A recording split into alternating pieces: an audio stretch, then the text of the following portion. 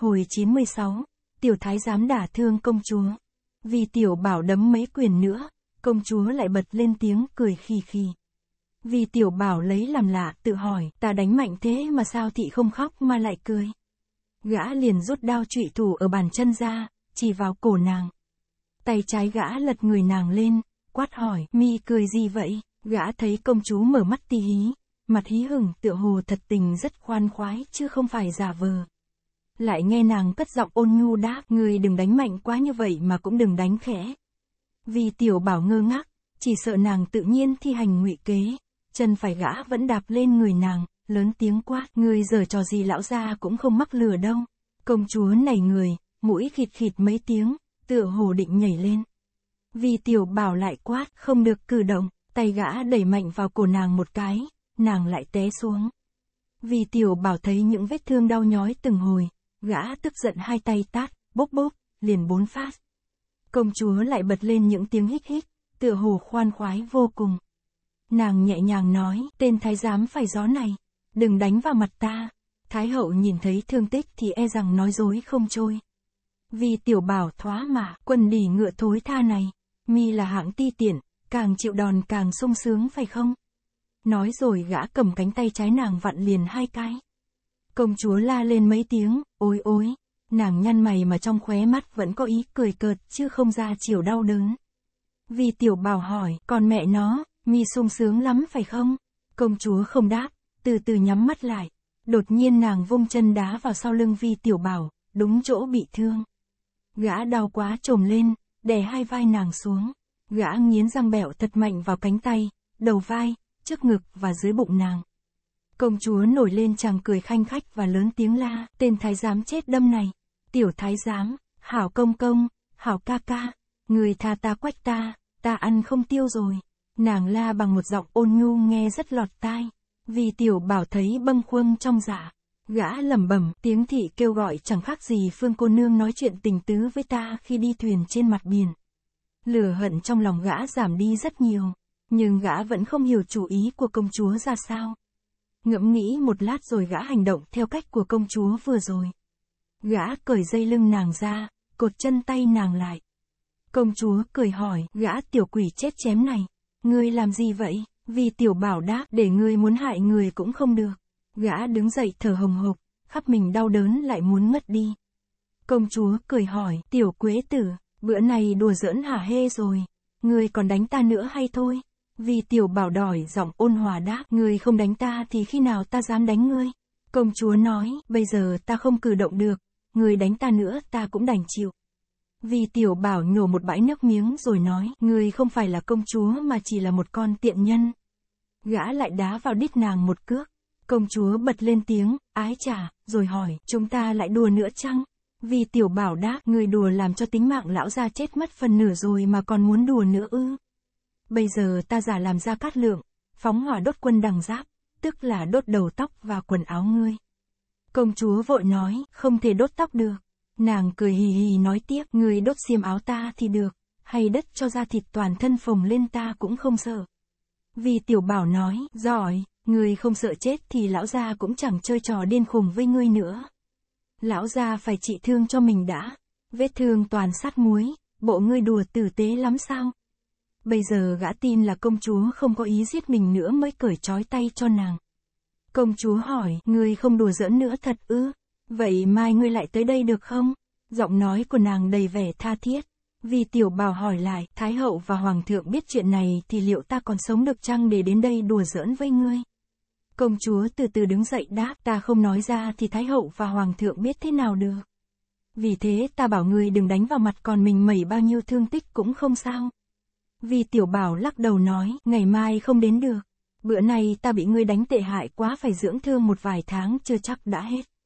Công chúa nói, chiều mai ta chờ ngươi ở đây. Ngươi mà không đến là ta bẩm thái hậu là ngươi đã đánh ta. Nàng vén tay áo lên, cánh tay trắng nõn, chỗ xanh xám, chỗ tím đen. Vì tiểu bảo không khỏi kinh ngạc nghĩ thầm, vừa rồi sao ta lại hạ thủ nặng quá đến thế? Công chúa ham dọa, hừ, ngày mai mà ngươi không tới thì cái mạng của ngươi có toàn vẹn hay không? Cái đó chưa biết. Đã đến tình trạng này, vì tiểu bảo không chịu cũng không được. Gã đành gật đầu đáp, ngày mai nô tài sẽ đến giỡn chơi với cô nương là xong. Có điều công nương đừng đánh nô tài nữa. Công chúa cả mừng nói, ngươi ưng là hay rồi. Ta có đánh ngươi thì ngươi cứ đánh lại ta. Chúng ta là những hảo hán trên giang hồ phải biết điều ân oán phân minh.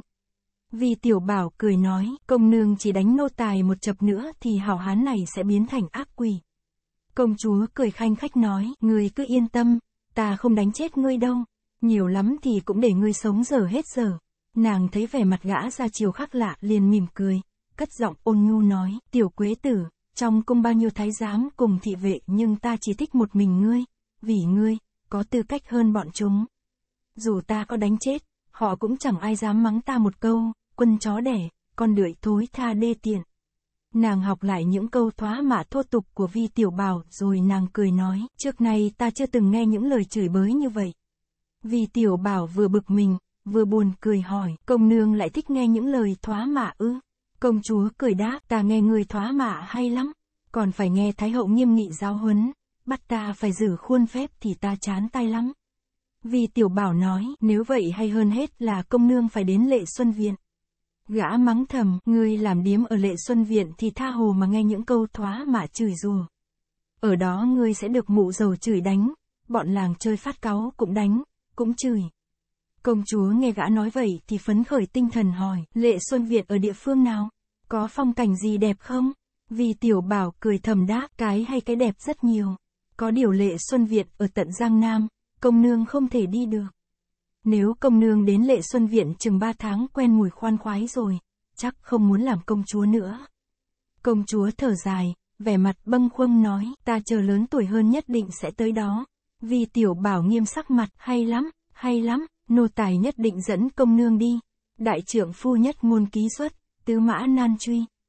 Câu, tứ mã nan truy, gã nhớ không đúng, nhưng bây giờ cũng không nói, cái gì mã nan truy, mà lại nói chạch đi là, tư mã nan truy. Công chúa cầm lấy tay gã nói, ta tỷ đấu với bọn thị vệ, thái giám, tên nào cũng cố ý nhường nhịn nên ta chẳng thấy thú vị chút nào. Chỉ có hoàng đế ca ca tỷ võ với ta là được vài phần thành thực nhưng cũng không chịu đánh nặng đòn làm cho ta đau đớn. Hảo quế tử, chỉ có một mình ngươi là đánh ta thực sự. Ngươi cứ yên tâm, ta quyết không giết ngươi đâu. Đột nhiên nàng kề môi vào hôn gã một cái rồi đỏ mặt xoay mình vọt ra khỏi phòng. Vì tiểu bảo cảm thấy trời xoay đất chuyển phải ngồi phệt xuống đất. Gã nghĩ bụng, không chừng nàng công chúa này mắc bệnh điên khùng. Ta càng đánh đấm, càng thoá mạ, thị càng lấy làm khoan khoái. Phải chăng thị, thị ưa thích tên tiểu thái giám vi tiểu bảo này. Gã nghĩ tới gương mặt xinh đẹp của công chúa trong lòng không khỏi mơ màng. Gã từ từ đứng dậy lảo đảo lần về phòng. Gã vừa đau đớn vừa mệt nhọc, nằm lăn xuống giường là ngủ ngay. Vi tiểu bảo ngủ một giấc dài đến 5 giờ. Lúc tỉnh dậy trời đã tối đen. Gã cảm thấy toàn thân đau đớn như dần, không nhịn được, bật lên tiếng la. Vi tiểu bảo định đứng dậy đi rửa sạch những bột muối sát vào vết thương. Ngờ đâu lúc cởi áo ra máu tươi ở vết thương đóng lại dính chặt như keo sơn, lột mãi không ra được. Gã bị những cơn đau hành hạ kịch liệt, miệng lại chửi loạn lên một hồi bằng những danh từ thô tục, phường đỉ điếm, quân chó đẻ tối tha, quân đê tiền. Hôm sau vi tiểu bảo đến ngự phòng ra mắt vua Khang Hy. Nhà vua thấy mặt mũi gã sưng vù và tím bầm, đầu tóc cùng lông mày bị đốt cháy rất thảm hại, thì không khỏi giật mình kinh hãi. Vua Khang Hy là người rất thông minh đoán ngay đây là kiệt tác của ngự muội bảo bối. Ngài liền hỏi, công chúa đánh ngươi phải không? Vì tiểu bảo nhăn nhó, cười đáp, thưa sư phụ, đồ nhi làm cho sư phụ mất mặt rồi. Đồ nhi phải khổ công rèn luyện ba năm mới trả được mối thù này. Vua Khang Hy chỉ lo vi tiểu bảo lửa hận ngất trời, năn nỉ mình rửa thù cho. Nhưng dù ngự muội trái lệnh có đánh nô tài của nhà vua thì cũng là chuyện bình thường. Nếu bảo đi không lý gì đến thì lại e rằng gã lên ngũ đài sơn không hết lòng phục thị phù hoàng. Nhà vua đang lấy làm khó nghĩ, nghe gã nói vậy hiển nhiên vụ này đối với gã không ôm mối oán hờn mà chỉ cho là một phen đùa cợt. Nhà vua cả mừng nói, tiểu quế tử, ngươi quả là một đứa bé ngoan ngoãn, chấm phải ban thưởng cho ngươi mới được. Ngài ngẫm nghĩ rồi hỏi, bây giờ ngươi muốn chấm thưởng điều chi? Vì tiểu bảo ngẫm nghĩ rồi đáp, thưa sư phụ, sư phụ không trách phạt về tội học nghệ không tinh, đệ tử đã cảm kích muôn vàn, không dám mong sư phụ ban thưởng gì hơn nữa. Vì tiểu bảo ngừng lại một chút rồi nói tiếp, xin sư phụ truyền thụ cho đệ tử mấy cao chiêu để sau này có gặp nguy hiểm khỏi bị người ta khinh mạn là đủ. Vua Khang Hy cười ha hả đáp, hay lắm, hay lắm, nhà vua liền đem những môn võ của Thái Hậu đã truyền thụ ra dạy gã mấy chiêu số tinh diệu. Kể ra mấy chiêu này thuộc về cầm nã thủ pháp đã đi vào hạng khá nhưng so với sáu chiêu của Hồng giáo chủ hãy còn kém xa. Trước kia vì tiểu bảo tỷ võ với nhà vua đã thấy ngài sử dụng, bây giờ chỉ cần phân tích thêm nên chẳng mấy chốc gã học được ngay. Vì tiểu bảo tự nhủ, trước ta đã cùng hoàng thượng vật nhau, coi nhau y như bạn bè. Nhưng y là hoàng đế mà ta lại là nô tài thì chẳng thể là bạn hữu lâu dài với nhau được. Chuyến này ta về đến Bắc Kinh thấy y chưa lớn hơn trước mấy nhưng ngoai phong đã khác hơn nhiều. Ba tiếng, tiểu huyền tử, không thể thốt ra miệng được nữa. Chi bằng ta đổi cách xưng hô là một diệu pháp để bợ đỡ. Gã liền quỳ xuống dập đầu lại bình bình mấy cái rồi nói, thưa sư phụ, đệ tử vi tiểu bảo là tên khai sơn đệ tử của lão nhân gia. Vua Khang Hy sừng sốt một chút rồi hiểu ngay dụng ý của gã. Ngài cho là làm như vậy cũng ngoạn mục, đồng thời ngài không muốn gã kêu ngài bằng tiểu huyền tử nữa. Vua Khang Hy vui vẻ cười đáp, bậc quân thượng không nói đùa cợt. Trẫm đã tuyên bố là sư phụ ngươi thì phải thu ngươi làm đồ đệ. Nhà vua vỗ tay hai cái gọi, các ngươi hãy vào đây. Lập tức hai tên thái giám cùng hai tên thị vệ lật đật chạy vào. Nhà vua truyền, các ngươi hãy xoay mình lại.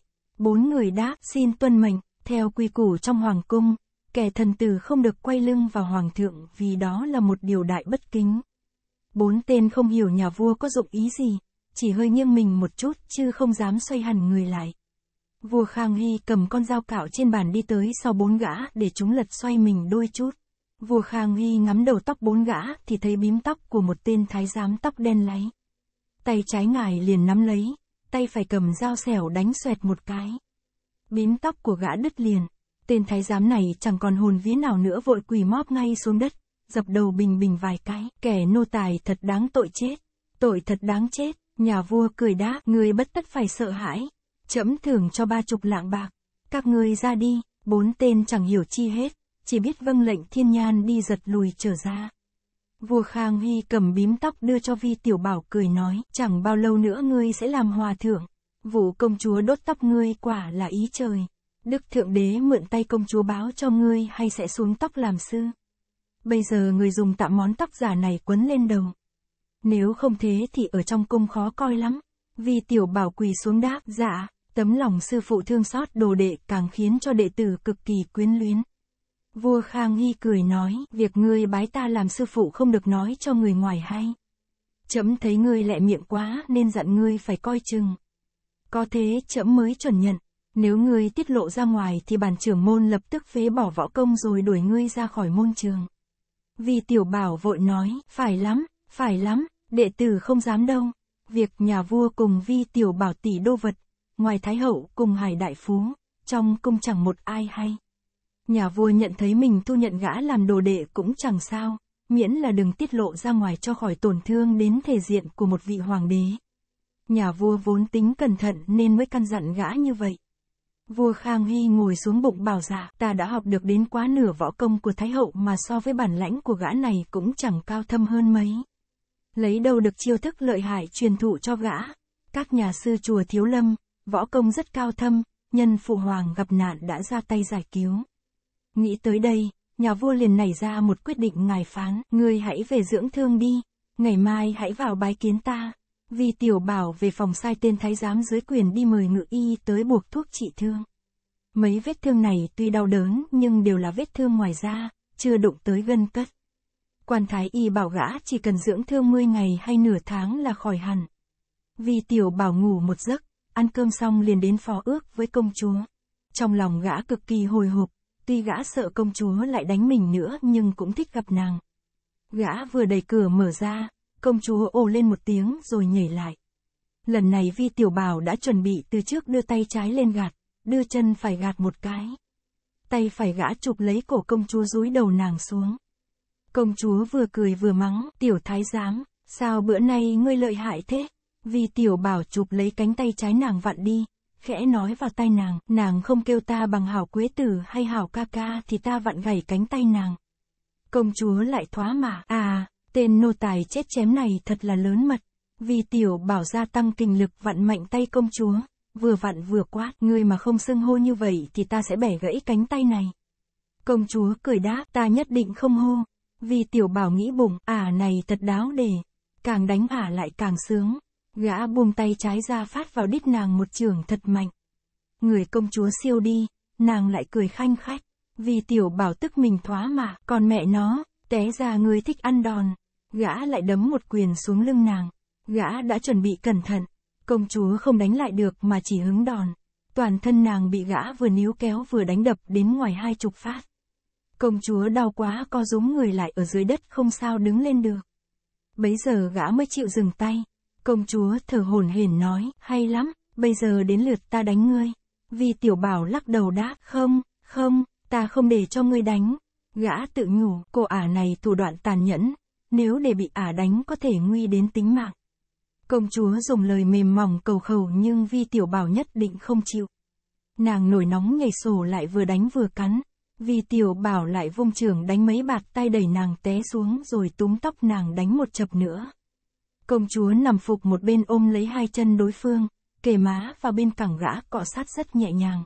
Nàng cất giọng ôn nhu năn nỉ, hảo quế tử, hảo ca ca, người cho ta đánh một lúc, ta không đánh đau đâu vi tiểu bảo nghe nàng gọi một cách thân thiết, trong lòng không khỏi mơ màng đã toan ưng thuận. Công chúa lại ngọt ngào hơn, hảo ca ca, tiểu muội không thích gì hết, chỉ muốn nhìn thấy người ca ca chảy máu ra. Vì tiểu bảo giật bắn người lên rồi tức giận nói, không được, gã vung chân đá vào đầu công chúa, quát bảo nàng, buông ta ra, ta phải đi đây, còn cuốn dắt với người tất có ngày mất mạng. Công chúa thở dài hỏi, ca ca không chơi với tiểu muội nữa ư? Vì tiểu bảo đáp, chơi với ngươi nguy hiểm, nguy hiểm lắm. Không biết mất mạng lúc nào. Ta không, hồi 97, dùng ngũ long lệnh hăm thái hậu. Công chúa cười khanh khách đứng dậy nói, được rồi, vậy ca ca dìu tiểu muội đưa về phòng. Tiểu muội bị đòn đau quá không đi được nữa. Vì tiểu bảo đáp, ta không dìu. Công chúa vịn vào tường từ từ bước ra, miệng hỏi, hảo quế tử, ngày mai lại đến chơi nữa, được không? Đột nhiên chân trái nàng khủy xuống. Vì tiểu bảo vội đỡ lấy người nàng.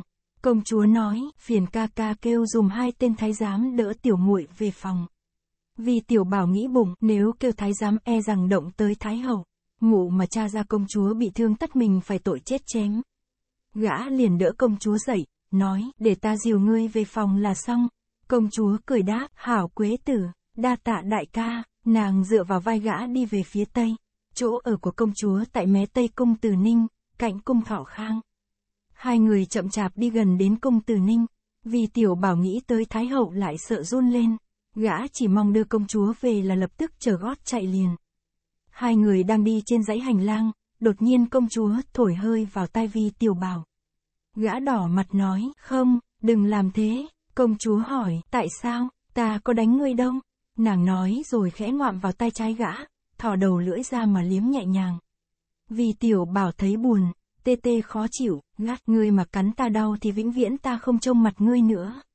Đại trưởng phu nhất ngôn ký xuất, tứ mã nan truy. Công chúa định cắn đứt tay trái gã nhưng nghe gã nói câu này không dám cắn nữa, chỉ bật lên chàng cười khanh khách. Nàng làm cho vi tiểu bảo mặt đỏ tía tai, toàn thân mềm nhũn. Vi tiểu bảo đỡ công chúa vào đến tận tầm cung, liền xoay mình bỏ đi.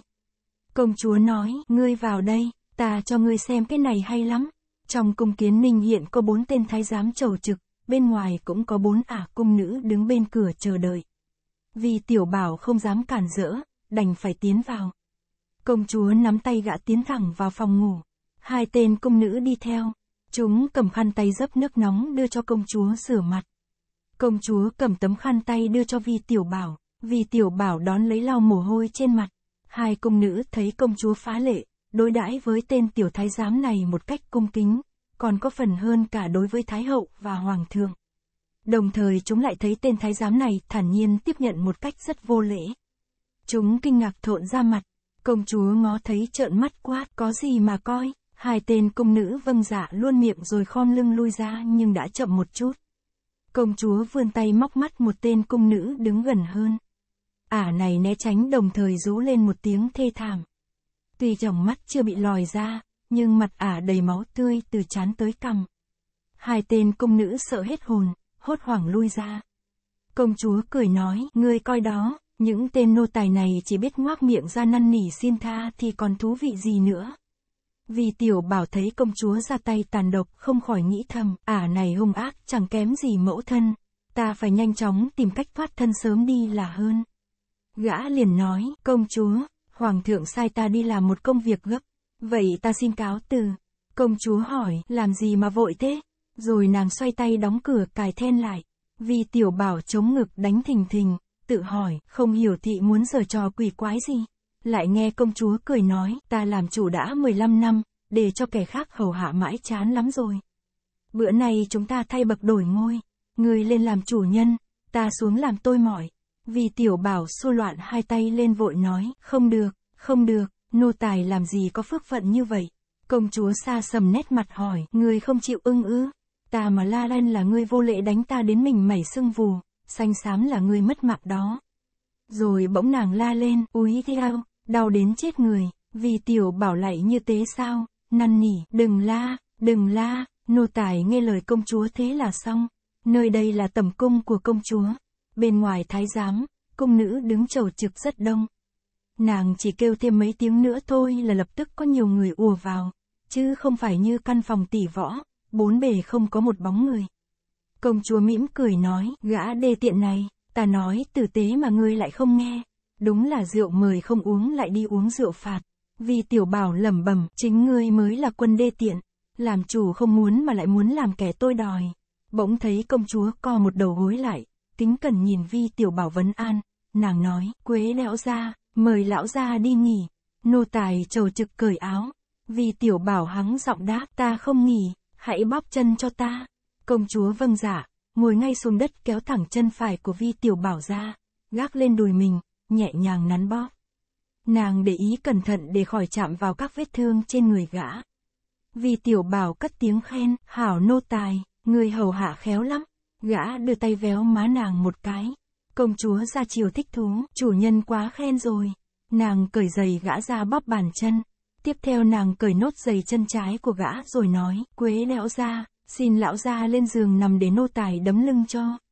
Vì tiểu bảo được công chúa nắn bóp rất dễ chịu, bụng bảo dạ, còn nhà đầu này chưa thỏa mãn nghề làm tôi mỏi, tất thị chẳng chịu buông tha mình. Gã liền lên giường nằm, mũi người thấy mùi u hương phảng phất từng hồi, gã bụng bảo dạ, giường nằm của con này rất sang trọng. Chăn đệm của bọn đỉ điếm trong lệ xuân viện cũng chẳng thể lịch sự được như thế này. Công chúa kéo tấm chăn mỏng đắp lên người gã rồi nhẹ nhàng đấm lưng. Vì tiểu bảo đang ngây ngất trong vai chủ nhân bỗng nghe bên ngoài có tiếng xôn xao cùng tiếng hô, thánh giá hoàng hậu đã tới. Vì tiểu bảo chẳng còn hồn vía nào nữa, hốt hoảng toan bò dậy. Công chúa cũng lộ vẻ khẩn trương, cất giọng run run nói, không kịp nữa rồi ngươi chui vào chăn đi và đừng có nhúc nhích. Vì tiểu bảo rụt cổ chui vào trong chăn, gã vẳng nghe có tiếng người gõ cửa sợ quá còn thiếu nước ngất đi. Công chúa vội buông màn xuống rồi xoay mình ra rút then mở cửa. Thái hậu bước vào hỏi ngay, đang giữa ban ngày ban mặt thế này mà đóng cửa cài then làm gì? Công chúa cười đáp, Hải Nhi mệt quá, muốn ngủ một lúc. Mẫu hậu, bữa này mẫu hậu có vẻ khá rồi. Thái hậu ngồi xuống hỏi, người nghịch ngợm gì mà mặt mũi xanh lét? Công chúa đáp, Hải Nhi thấy trong mình mệt quá. Thái hậu cúi xuống thấy đôi giày của vi tiểu bảo, lại thấy trong màn lay động, biết có điều khác lạ liền quay ra bảo cung nữ và tên thái giám, các người hãy lui ra ngoài kia chờ đợi. Bà chờ bọn chúng rút lui rồi bảo công chúa, người hãy đóng cửa, cài then lại. Công chúa cười hỏi, mẫu hậu cũng muốn chơi trò cổ quái gì chăng? Nàng theo lời ra đóng cửa, cài then lại rồi ngó theo mục quang của Thái hậu. Biết là đôi giày của vi tiểu bảo đã khiến cho mẫu thân sinh lòng ngờ vực. Công chúa biến đổi sắc mặt, gượng cười nói, Hải Nhi muốn cải dạng nam trang để mẫu hậu xem có ngộ không? Thái hậu lạnh lùng đáp, để ta xem thằng nhỏ nằm trên giường kia có ngộ không đã. Bà liền đứng dậy đi tới trước giường. Công chúa cả kinh, vội kéo tay Thái Hậu, la lên, mẫu hậu, Hải Nhi đùa giỡn với gã một chút. Nàng chưa dứt lời, tay trái Thái Hậu đã hất mạnh một cái đẩy nàng ra xa mấy bước.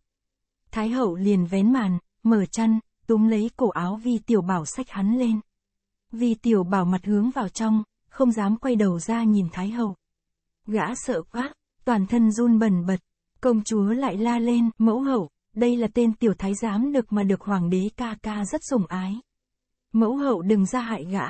Thái hậu hừ lên một tiếng nghĩ bụng, con gái mình đã dần dần lớn khôn, có thể mối tình bắt đầu chớm nở. Dù y có giấu trong chăn nằm thì bất quá cũng chỉ là một trò giỡn cợt trá hình loan phụng, chứ chưa đáng kể là chuyện tày đình. Bà xoay tay cho mặt vi tiểu bảo hướng ra ngoài rồi tát cho hai cái. Miệng lớn tiếng quát, mi khôn hồn thì cút ngay. Nếu ta còn thấy mi tới đây léo hánh tới đây quân quyết với công chúa thì... Đột nhiên bà nhìn rõ mặt vi tiểu bảo, vội hỏi, mi, mi đấy ư, vi tiểu bảo quay lại ấp úng đáp, không, không phải nô, tài. Gã đáp mấy tiếng chẳng ăn nhập vào đâu cả. Lúc này gã khiếp sợ cuống cuồng, chẳng còn biết ăn nói làm sao nữa. Thái hậu nắm chặt lấy gáy gã, thùng thẳng nói, thiên đàng có nẻo mi không tới, địa ngục không đường dẫn xác vào. Mi vô lễ với công chúa, bữa nay đừng oán hận ta. Công chúa xen vào, Hải Nhi bảo gã đến đây đấy, mẫu hậu không nên trách phạt gã vì gã chẳng có tội gì. Tay trái Thái hậu khẽ đập vào đầu vi tiểu bảo, tay phải vận kinh lực toan phóng trưởng đánh xuống. Vì tiểu bảo tiên liệu mình không còn cách nào thoát được. Trong lúc nguy cấp, gã chợt nhớ tới chiêu địch thanh hàng câu của hồng giáo chủ truyền thụ, liền xoay hai tay đưa vào bụng của Thái hậu. Thái hậu giật mình kinh hãi vội hóp bụng lại, quát mắng, quân nô tài khốn kiếp. Thế là mi ưa muốn sống nữa. Vì tiểu bảo tì hai chân vào cạnh giường nhảy vọt lên, lộn mình đi một vòng, cưỡi lên cổ Thái hậu. Hai ngón tay trỏ gã chỉ vào mắt bà, ngón tay cái đè lên huyệt Thái Dương, gã la lớn, ngủ mà nhích nhích một cái là ta móc trong mắt ngủ ra ngay lập tức. Chiều này gã chưa luyện thành thục, khó lòng thi triển được. May là gã đang đứng trên giường còn Thái Hậu lại đang đứng dưới đất. Một người ở trên cao, một người ở dưới thấp nên gã lộn ngược người dễ dàng và chụp ngay được huyệt đạo để móc mắt đối phương. Tiếp theo gã sử chiêu trí thâm bạt liễu, lúc gã đảo lộn người đi, thân pháp lúng túng, đầu ngón chân móc vào màn làm cho rớt xuống đầu hai người, coi thảm hại quá. Giả tỷ hồng giáo chủ hiện diện đương trường, chắc lão phải tức đến uất người. Tuy thủ pháp vi tiểu bảo sử dụng không đúng cách nhưng Thái Hậu vẫn bị kiềm chế. Vì diễn biến xảy ra quá đột ngột, bà không kịp tiên liệu, phòng ngừa. Công chúa cười ha hả, reo lên, tiểu quế tử, người không được vô lễ, mau mau buông Thái Hậu ra. Vì tiểu bảo dở chân phải lên, thò tay rút lưỡi truy thủ ra, chĩa vào lưng Thái Hậu rồi người gã mới từ trên cổ bà tụt xuống. Đột nhiên nghe đánh cạch một cái, một vật từ trên người vi tiểu bảo rơi ra, rớt xuống. Thái hậu vừa trông thấy vội ấp úng hỏi, cái này, cái này, ở đâu, ra. Vì tiểu bảo chợt động tâm cơ. Gã nhớ lại vụ Thái hậu đã ngấm ngầm cấu kết với bọn người thần Long Giáo là mụ liễu yến và tên cung nữ giả Tống Minh Nghĩa. Gã tự nhủ, không chừng ta có thể dùng tấm ngũ long lệnh này bắt mụ phải hàng phục. Gã nghĩ vậy liền lớn tiếng quát, còn cái này cái nọ gì nữa? Đây là ngũ long lệnh của bản giáo, chẳng lẽ ngươi không biết hay sao? Quần này to gan thật. Thái hậu toàn thân run cầm cập đáp, dạ, dạ, vì tiểu bảo nghe giọng lưỡi cung kính, sợ hãi của Thái hậu thì trong lòng rất khoan khoái. Gióng giạc nói, thấy ngũ long lệnh cũng như thấy giáo chủ giáng lâm, ngủ đã biết chưa? Hồng giáo chủ tiên phúc vô cùng, thọ ngang thượng đế. Thái hậu cất tiếng run run hô theo, hồng giáo chủ tiên phúc vô cùng, thọ ngang thượng đế. Bà cúi xuống lượng ngũ long lệnh nâng cao lên trên đỉnh đầu. Vì tiểu bảo đón lấy nói, người có nghe theo hiệu lệnh của ta không? Thái hậu đáp, dạ, ra, thuộc hạ kính cần vâng lời dạy bảo. Đến bây giờ vi tiểu bảo mới thở phào nhẹ nhõm. Gã buông dao truy thủ ra ngồi xuống mép giường. Thái hậu nhìn công chúa nói, người hãy ra ngoài kia và không được môi hở răng lạnh. Nếu ngươi không biết giữ mồm giữ miệng thì ta giết ngươi đó. Công chúa kinh hãi đáp, Hải Nhi xin tuân lời mẫu hậu. Nàng nhìn vi tiểu bảo đầy hoài nghi hỏi lại, phải chăng đây là thánh chỉ của hoàng đế ca ca? Vua Khang Hy ngày một lớn tuổi, uy quyền ngày một trọng đại, bọn thái giám, công nữ cùng ngự tiền thị vệ khi nói đến hoàng thượng cũng ngày một kinh sợ. Công chúa đã biết mẫu hậu đối với hoàng đế ca ca có phần uy kỳ. Thái hậu nghe nàng nói vậy liền đáp, đúng rồi, gã là kẻ thân tín của hoàng thượng có việc khả yếu muốn nói chuyện với ta. Vậy ngươi không được tiết lộ, cả khi ngươi đứng trước mặt hoàng thượng cũng không được nói để gã khỏi tức giận. Công chúa nói, phải rồi, phải rồi, khi nào Hải Nhi lại ngu dại đến thế nàng nói xong ra khỏi phòng, xoay tay đóng cửa lại. Thái hậu cùng vi tiểu bảo đứng đối diện nhau mà cả hai người trong lòng đều úy kỳ. Sau một lúc hoàng hậu cất tiếng hỏi, nơi đây tai vách mạch rừng, không tiện nói chuyện, xin mời đến cung từ ninh được chăng? Thái hậu đã phải dùng đến chữ, xin mời, để tỏ ra có ý thương lượng chứ không dám thiện tiện, chủ trương. Vì tiểu bảo nghe nói lại càng vững dạ, nhưng gã nghĩ thầm, mụ điếm này lòng dạ hiểm sâu, thủ đoạn độc ác. Biết đâu mụ chẳng lừa mình đến công từ ninh để ra hại. Khi nào lão gia lại mắc phải quỷ kế của mụ, gã liền gật đầu, hạ thấp giọng đáp, bản tòa là tân bạch long sứ vâng mệnh giáo chủ chấp trưởng ngũ long lệnh đến đây thi hành sứ mạng. Thái hậu nghe câu này liền sinh lòng kính sợ. Bà khom lưng nói, thuộc hạ xin tham kiến bạch long sứ. Vì tiểu bảo nghĩ tới Thái hậu đã cấu kết với bọn thuộc hạ ở Hắc Long Môn thì nhất định tôn kính hồng giáo chủ đến cực điểm. Ngũ long lệnh này chắc có đủ hiệu lực để chấn áp bà. Nhưng gã không bao giờ lại ngờ tới Thái hậu lại cũng là một tên đồ đệ của thần Long giáo. Vì lẽ địa vị tôn cao của bà, bất cứ muốn điều gì trong thiên hạ cũng làm được thì sao còn gia nhập thần Long giáo để chịu sự sai khiến của kẻ khác. Nhất là địa vị của Thái hậu ở bản giáo lại thấp kém hơn gã rất nhiều. Đó là một điều gã không sao đoán được, vì tiểu bảo thấy Thái hậu kính cần thi lễ không khỏi ngơ ngác, luống cuống, chẳng biết đối đáp thế nào. Thái hậu thấy gã lẳng lặng, không nói gì lại cho rằng gã nhớ tới mối cửu hận ngày trước, bà rất kinh sợ, khẽ nói, trước kia thuộc hạ chưa hiểu thân thế tôn sứ thành ra gây nên tội lỗi. Thuộc hạ rất lấy làm khiếp sợ, mong rằng tôn sứ đại lượng bao dung. Tùy miệng bà nói vậy nhưng thấy vì tiểu bảo còn bé nhỏ mà đã ở ngôi cao trong bản giáo, không khỏi nảy lòng nghi ngờ, tự nhủ, không chừng thằng lòi này đã giả mạo. Vậy ta phải giết gã đi để bịt miệng. Bà lại nghĩ tiếp dù gã có đúng là bạch long sứ đi nữa thì cũng cứ nên giết gã đi. Người trong bản giáo chả một ai hay. Gã có một mối thâm cừu, đại hận với ta. Nếu để gã sống cũng là hậu hoạn vô cùng. Bà đã động sát khí, trong lòng không tự chủ được, bất giác khóe mắt lộ ra những tia ác độc. Vì tiểu bảo ngó thấy giật mình nghĩ thầm, ngút rồi, mụ điếm giả này định bụng giết ta đây. Gã liền hạ thấp giọng xuống hỏi, vừa rồi bản xứ ra chiêu, cầm nã. Thái hậu có biết ai đã truyền thụ cho bản xứ không? Thái hậu giật mình kinh hãi nhớ lại thủ pháp vừa rồi của vi tiểu bảo kỳ bí khôn lường. Gã mới ra một chiêu đã kiềm chế được bà, bà tin ngay là thủ đoạn của giáo chủ. Bà cất tiếng run run hỏi lại, phải chăng, phải chăng chính giáo chủ đã thân hành truyền cho tôn sứ? Vì tiểu bảo cười đáp, hồng giáo chủ đã truyền cho bản sứ ba chục chiêu sát thủ.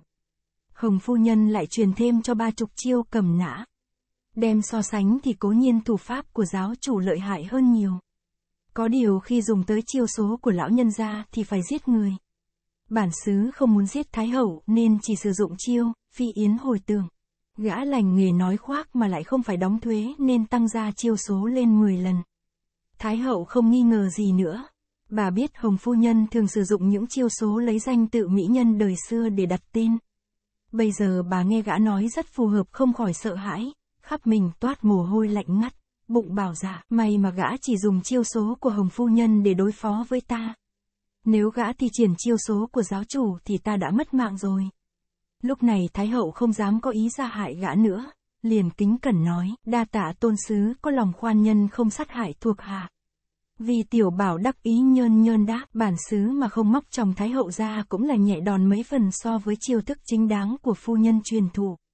Gã nói câu này không phải giả dối. Giả tỷ vừa rồi mà gã không úy thủ, quý vĩ thì có thể móc mắt Thái Hậu ra. Gã không dám làm thế vì sợ Thái Hậu bị trọng thương nổi hung tất dùng toàn lực phản kích thì gã khôn toàn tính mạng. Thái Hậu cũng đã biết giáo chủ cùng phu nhân không ra tay thì thôi. Một khi hai nhân vật này đã động thủ là địch nhân chẳng chết cũng bị trọng thương, không bao giờ để cho người ta bình yên rút lui. Thái Hậu càng nghĩ càng rùng rợn, liền nói, đa tạ tôn sứ đã có lượng bao dung, thuộc hạ cảm kích vô ngàn, ơn đức này thuộc hạ chẳng bao giờ dám quên, tất có ngày tìm cách báo đền. Vì tiểu bảo từ trước tới nay sợ Thái Hậu như chuột sợ mèo. Lúc ban đầu gã thấy Thái Hậu bước vào phòng, không sao kiềm chế được cơn khủng khiếp toàn thân run lên bần bật. Ngờ đâu bây giờ gã kiềm chế được bà mà còn khiến cho bà khép nép thần phục. Trong lòng gã rất lấy làm đắc ý, nổi hân hoan không bút nào tả xiết. Vì tiểu bảo ngồi vắt chân chữ ngũ lắc lư mấy cái khẽ nói, chuyến này bản xứ Lai Kinh có bạn đầu đà và lục cao hiên đi theo. Thái hậu ngoài miệng vâng giả trong bụng nghĩ thầm, bạn đầu đà và lục cao hiên là hai tay cao thủ trong bản giáo đi hộ vệ gã, vừa rồi may mà mình chưa có hành động lỗ mãng. Nếu mình giết gã thì sau này giáo chủ sẽ mở cuộc điều tra, lập tức hai tên kia tìm vào đây là mình chỉ còn con đường chết. Bà ngó thấy trên mặt vi tiểu bảo còn lưu lại vết ngón tay vì bà vừa đánh gã hai cái tát, bất giác bà sợ hãi, cất giọng run run nói, những hành động vừa qua của thuộc hạ đều tội đáng muôn thác. Tôn sứ là bậc đại nhân lượng cả bao rong tất được hưởng phúc lớn về sau. vì tiểu bảo tùm tìm cười nói, Hắc Long Sứ là Trương Đạo Nguyệt làm việc bất lực, khiến cho giáo chủ cùng phu nhân vô cùng bất mãn. Bây giờ bản sứ phải phụ trách phần lấy kinh sách.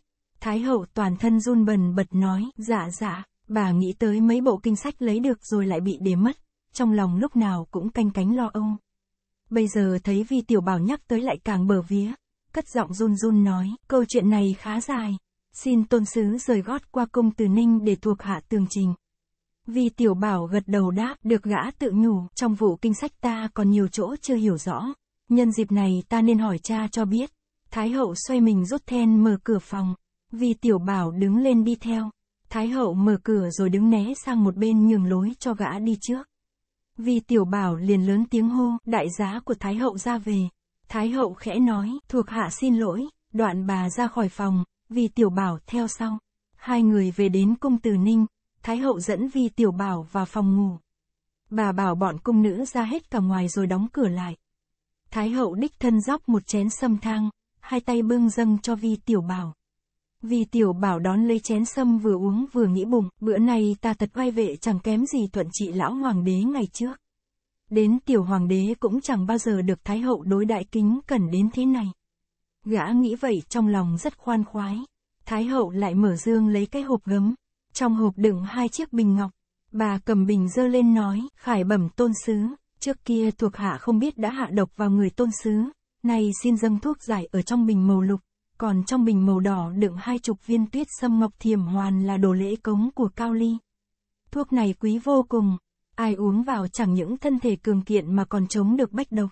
Nhờ tôn sứ truyền trình lên lên giáo chủ 10 viên, còn 10 viên kính biếu tôn sứ gọi là, tỏ chút lòng hành của thuộc hạ. Vì tiểu bảo cười khanh khách đáp, đa tạ thái hậu, có điều bản xứ chưa hiểu thuốc hoàn này có xung kích gì với độc long dịch cân hoàn hay không? Thái hậu đáp, không công kích chi hết. Cung hỷ tôn sứ đã được giáo chủ ân ban độc long dịch cân hoàn. Thuộc hạ không hiểu, giáo chủ có gửi thuốc giải năm nay đến cho thuộc hạ không? Vì tiểu bảo sừng sốt hỏi lại, thuốc giải năm nay ư? Rồi gã tỉnh ngộ hiểu ngay Thái Hậu cũng uống độc long dịch cân hoàn rồi và mỗi năm giáo chủ lại ban phát thuốc giải một lần nhưng không chỉ tuyệt nọc mà phải mỗi năm uống một lần để ngăn ngừa chất độc phát tác. Nếu không thế thì Thái Hậu ở chốn Hoàng Cung, cao thủ thị vệ đông như kiến, bản lành giáo chủ có cao cường đến đâu cũng không thể kiềm chế được bà. Gã cười nói tiếp bản xứ cũng như Thái Hậu đều uống độc long hoàn, chẳng khi nào giáo chủ lại gửi thuốc giải cho bản xứ đem đi. Thái hậu nói, dạ dạ, tôn sứ nói rất phải. Có điều tôn sứ được giáo chủ sủng ái, thuộc hạ bì thế nào được. Vì tiểu bảo bụng bảo dạ, xem chừng mụ sợ quá rồi. Ta phải an ủi mụ mấy câu mới được. Nghĩ rồi gã liền nói, giáo chủ cùng phu nhân đã bảo chỉ cần Thái hậu dốc giả trung thành, cố gắng hành động là hai vị lão nhân gia sẽ trọng đãi. Thái hậu đừng lo gì hết. Thái hậu cả mừng đáp, giáo chủ ơn nặng tày non thuộc hạ muôn thác không đủ báo đền. Giáo chủ tiên phúc lâu dài, thọ ngang thượng đế. Vì tiểu bảo tự hỏi, trước mụ làm hoàng hậu, nay làm hoàng thái hậu, ngoài hoàng đế, mụ là người thứ nhất trong thiên hạ. Thần Long giáo chủ dù lợi hại đến đâu cũng chẳng thể bì với mụ được. Sao mụ lại còn gia nhập giáo phái này để phải nghe lệnh của giáo chủ? Như vậy há chẳng ngu ngốc, đê hèn lắm sao? Phải rồi, cả mụ lẫn công chúa đều là hạng đê hèn ngu ngốc con cũng như mẹ nên mới lấy chuyện đánh người làm trò tiêu khiển. Gã còn nhỏ tuổi, dù thông minh đến đâu thì sự hiểu biết việc đời cũng chưa là mấy, đoán thế nào nổi những chuyện ngoắt nghẽo bên trong. Thái hậu không thấy gã nói gì, trong lòng bà rất thắc mắc, nghĩ bụng, câu chuyện kinh sách mình để gã hỏi tới khó bề giải thích, chi bằng ta tự nói trước ra là hơn. Bà liền hỏi, ba bộ kinh sách thuộc hạ đã giao cho Tống Minh Nghĩa và Liễu Yến đem về trình giáo chủ chắc lão nhân gia đã nhận được rồi. Vì tiểu bảo sừng sốt tự hỏi, giả cung nữ là Tống Minh Nghĩa đã bị đào cô cô hạ sát, còn Liễu Yến chết về tay ta. Làm gì có kinh sách đem về trình giáo chủ. Hồi 98, quân chướng biến thành sòng bạc lớn. Vì tiểu bảo không hiểu Thái hậu có dụng ý gì. Gã trầm ngâm một lát rồi hỏi, Thái hậu bảo sao, đã đưa ba bộ kinh sách trình giáo chủ rồi ư? Cái đó bản xứ không nghe nói, chỉ thấy giáo chủ phiền trách Hắc Long sứ hành động bấy lâu chẳng được kết quả gì nên ngài đã nổi lôi đình. Thái hậu đáp, nếu vậy thì thật kỳ. Hiển nhiên thuộc hạ đã sai Tống Minh Nghĩa và Liệu Yến đem ba bộ kinh sách về thần Long Đảo. Dĩ nhiên là việc đó có từ trước khi Liệu Yến bị tôn sứ xử tử. Vì tiểu bảo ngạc nhiên hỏi, có chuyện đó ư, phải chăng Tống Minh Nghĩa ăn mặc giả gái để làm cung nữ ở trong cung? Thái hậu đáp, đúng thế, mai mốt tôn sứ trở về đảo gọi hắn ra hỏi coi sẽ rõ. Vì tiểu bảo đột nhiên giật mình tỉnh ngộ, bụng bảo dạ, phải rồi, Tống Minh Nghĩa bị đào cô hạ sát, mụ điếm này tưởng ta không biết việc đó. Mụ đánh mất ba bộ kinh sách sợ giáo chủ hạch tội nên đem trách nhiệm đổ lên đầu người khác. Cái đó kêu rằng, từ vô đối chứng, mụ này khôn ngoan thật, nhưng mụ có biết đâu ba pho kinh sách kia đã lọt vào tay lão gia rồi. Mụ bịp ai thì được, nhưng với lão gia thì đừng hòng. Tạm thời ta không nên lật tẩy mụ vội, gã nghĩ vậy liền nói, Thái hậu đã lấy được ba bộ kinh sách thì công lao này không phải là nhỏ. Còn năm bộ kia Thái hậu nên tận tâm tận lực tìm cho ra hết. Thái hậu đáp, dạ, dạ, suốt ngày đêm lúc nào thuộc hạ cũng nghĩ cách điều tra cho ra năm bộ kinh sách kia lấy về để gọi là báo đền ân đức cao cả của giáo chủ. Vì tiểu bảo nói, hay lắm, Thái hậu hết giả trung thành như vậy thì dĩ nhiên thế nào cũng được một lần ban thuốc giải chất độc trong độc long dịch câu hoàn. Chẳng bao lâu nữa bản xứ trở về ra mắt giáo chủ, nhất định sẽ tuyên dương với ngài về công lao của Thái hậu. Thái hậu cả mừng cúi đầu thỉnh an rồi nói, ơn đức của tôn sứ, thuộc hạ vĩnh viễn không dám lãng quên, hay hơn hết là xin cho thuộc hạ chuyển sang Bạch Long Môn để chịu dưới quyền chỉ huy của tôn sứ. Đó là một điều đại hạnh mà thuộc hạ rất mong mỏi. Vì tiểu bảo đáp, việc này dễ dàng quá. Có điều Thái Hậu nên đem những việc đã qua nhất thiết tường thuật lại cho bản sứ nghe, đừng có giấu xiềm chút gì. Thái Hậu nói, dạ, dạ, đối với trưởng môn sứ trong bản môn dĩ nhiên thuộc hạ không dám giấu giếm tí gì và cũng chẳng có nửa lời giả dối. Thái Hậu chưa dứt lời, đột nhiên ngoài cửa có tiếng chân vang lên.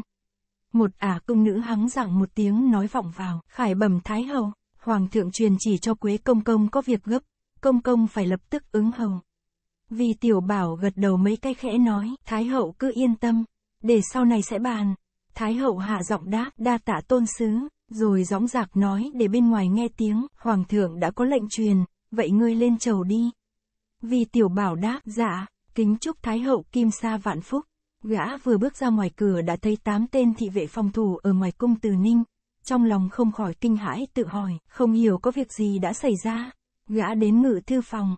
Vua Khang Hy mừng rỡ nói, hay lắm, ngươi không việc gì, chấm trải qua một phen hồi hộp trong lòng.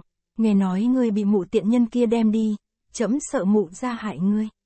Vì tiểu bảo đáp, đa tạ sư phụ đã có lòng quan hoài ngụ lão tiện nhân tra hỏi đệ tử về chuyện lên ngũ đài sơn và tình hình của lão hoàng gia nhưng đệ tử không nói, chỉ trả lời là chẳng có lão hoàng gia nào hết. Vua Khang Hy nói, thế thì hay lắm, hừ, một ngày kia ta sẽ trả thù cho phụ hoàng cùng mẫu hậu. Vừa rồi ta sợ mụ tiện nhân hại ngươi nên đã sai tám tên thị vệ tới từ Ninh Cung. Nếu lão tiện nhân không buông tha ngươi là bọn chúng xông vào cướp ngươi ra, dù phải trở mặt với mụ cũng đành chịu. Nói đến đây nhà vua kiến răng ken két, vì tiểu bảo quỳ móp ngay xuống, dập đầu thưa, hoàng đế sư phụ, ơn đức của sư phụ coi nặng bằng non, đệ tử dù tan xương nát thịt cũng không đủ báo đền trong muôn một. Vua Khang Hy nói, người đi phục thị cho lão hoàng gia thật hết lòng, tức là đền đáp ơn chi ngộ của ta đó. Vì tiểu bảo đáp, dạ, dĩ nhiên đệ tử phải hết lòng. Vua Khang Hy cầm một bọc lớn gói giấy vàng nói, đây là phần thưởng cho tăng chúng chùa Thiếu Lâm. Người tuần chỉ dụ đi lựa lấy 100 tên ngự tiền thị vệ, 2.000 quân quân kiêu kỵ doanh binh lên chùa Thiếu Lâm làm việc. Bây giờ ta thăng cho ngươi làm kiêu kỵ doanh chính hoàng kỳ phó đô thống chức quan này lớn lắm vào hàng tránh nhị phẩm rồi đó. Ngươi nguyên là người Hán, ta ban cho ngươi làm người Mãn Châu. Đạo quân Hoàng Kỳ là do Hoàng đế điều động, kiêu kỵ doanh là toán thân binh của Hoàng đế. Vì tiểu bảo đáp, đệ tử chỉ mong lúc nào cũng được kề cận bên mình sư phụ. Còn quan lớn hay quan nhỏ đệ tử không quan tâm đến. Gã nói rồi dập đầu tạ ơn, vì tiểu bảo nghĩ thầm trong bụng, ta rõ ràng là người Hán mà bây giờ lắc mình một cái đã biến thành người mãn châu được ngay. Vua Khang Hy lại truyền triệu kiêu kỵ doanh trinh hoàng kỳ đô thống là sát nhĩ châu đến dụ chỉ cho y hay tiểu quế tử thực ra không phải là thái giám và bây giờ ngự tử cho gã gia nhập quốc tịch trinh hoàng kỳ và thăng lên chức kiêu kỵ doanh trinh hoàng kỳ phó đô thống. Hồi ngao bái chấp trưởng binh quyền trong triều, sát nhĩ châu bị hắn khuynh loát, lúc nào cũng lo ngay ngáy khó bảo toàn được tính mạng. nay nhờ công việc của ngao bái bị bại lộ, y mới được thoải mái. Từ đó y rất cảm kích vì tiểu bảo là người đã bắt và hạ sát ngao bái. Bây giờ nghe Đức Hoàng thượng chỉ dụ cho Vi Tiểu Bảo làm chức quan phó của y thì lòng mừng rỡ khôn xiết. Sát Nhĩ Châu nhìn Vi Tiểu Bảo ngỏ lời chúc hạ, Vi huynh đệ, anh em mình cùng làm việc với nhau trong một lĩnh vực thì thật là một điều tuyệt diệu. Vì huynh đệ là bậc thiếu niên anh hùng sẽ làm cho kiêu kỵ doanh của chúng ta nở mặt, nở mày, lừng lẫy tiếng tăm. Y nghĩ thầm, gã này được Hoàng thượng cực kỳ sủng ái, Tuy bề ngoài là phó thủ của ta nhưng tình thực là ta quyết định làm phó thủ cho gã. Nhưng chỉ cần gã hài lòng thì bước tiến trình mai hậu của mình không biết đến đâu mà kỳ. Vì tiểu bảo nghe lời sát nhĩ châu tâm bốc, gã đáp lại bằng những lời khiêm nhường. Vua Khang Hy lại nói, việc này tạm thời không công bố trước triều đình. Bây giờ hai khanh hãy lui ra kiểm điểm binh mã. Nhà vua nhìn vi tiểu bảo nói tiếp, tiểu quế tử thượng lộ ngay chiều nay, bất tất phải vào đây cáo biệt chậm nữa. vi tiểu bảo đập đầu tạ ơn, cáo biệt. Gã tự nhủ, vì lẽ gì mụ đũn giả gia nhập thần long giáo. Ta chưa hỏi biết rõ được. Bây giờ ta lại phải đi công cán. Vụ này đành phải chờ đến lúc về cung sẽ đến điều tra mù Sát Nhĩ Châu và Vi Tiểu Bảo liền đến gặp quan ngự tiền thị vệ tổng quản Đa Long. Vi Tiểu Bảo liền lấy đạo dụ của vua Khang Hy bữa trước đã phong gã làm chức ngự tiền thị vệ phó tổng quản cho Đa Long coi. Đa Long coi dụ rồi chúc hạ ân cần và hỏi tiếp vì huynh đệ muốn lựa bao nhiêu thị vệ, cứ việc tùy tiền. Huynh đệ lấy luôn cả tại hạ đi theo cũng được. Vì tiểu bảo cười đáp, cái đó thì tiểu đệ không dám đâu. Đa huynh giữ trọng trách bảo vệ thánh hoàng, muốn xuất kinh đi chơi đâu phải chuyện dễ dàng. Đa Long cũng cười nói, lần sau đa mỗ tâu xin thánh thượng cho anh em mình thay bậc đổi ngôi. Vì huynh đệ lên làm tránh, đa mỗ xuống làm phó để có việc xuất kinh hướng gió thì sai đa mỗ đi còn vi huynh phải ở lại kinh thành. Vì tiểu bảo lựa trước hai tên thị vệ Trương Khang Kiện và Triệu Tề Hiền để chúng gọi một toán thị vệ thân cận đem đi. Chẳng mấy chốc sát Nhĩ Châu cũng đã điểm xong hai ngàn quân sĩ kiêu kỵ doanh do viên tham tá cầm đầu, tập họp ở ngoài cửa cung chờ lệnh. Những phẩm vật của hoàng đế ban thưởng cho tăng lữ chùa Thiếu Lâm cũng được chiếu theo chỉ dụ sắp đặt hoàn bị. Mấy trăm tên sa phu khiêng xếp lên xe. Hoàng đế đã muốn điều gì là quân nhân trực tiếp ra tay, chỉ trong vòng 2 giờ nhất thiết đâu đã vào đấy. Vì tiểu bảo đáng lý phải vận nhung phục kiêu kỵ doanh nhưng bộ nhung phục cho vị tiểu tướng quân không thể làm ngay được. Sát Nhĩ châu liền nghĩ ngay ra một cách rất chu đáo là lấy bộ nhung phục của mình trao cho gã. Y lại truyền cho bốn tên thợ may thật khéo đi theo để dọc đường chúng ngồi trên xe mà sửa chữa lại cho vi tiểu bảo mặc vừa. Sát Nhĩ châu dặn bọn thợ phải ngày đêm làm việc, sửa chữa nhung phục cho xong mới được trở về cung. Nếu trễ nải sẽ bị trọng phạt. Vì tiểu bảo một mình lẻn đến ngõ hẻm bảo lục cao hiên vào ý tôn giả. Bữa nay bản sứ trà trộn vào cung đã tìm được manh mối để lấy trộm sách. Gã lại dặn hai người cứ ở nhà yên lặng chờ tin tức, không nên ra ngoài để khỏi tiết lộ cơ mưu. Lục Cao Hiên và ý tôn giả thấy gã làm việc thuận lợi và mau chóng. Mới hai ngày đã tên ra đường lối đều rất cảm kích và hân hoan. Chúng vâng dạ luôn miệng. Vì tiểu bảo lại sai song nhi cải dạng nam trang làm tên thư đồng để theo gã. Mọi việc xong xuôi thì trời vừa tối, nhưng Thánh chỉ muốn gã rời kinh ngay trong đêm nay nên gã phải lên đường ngay lập tức.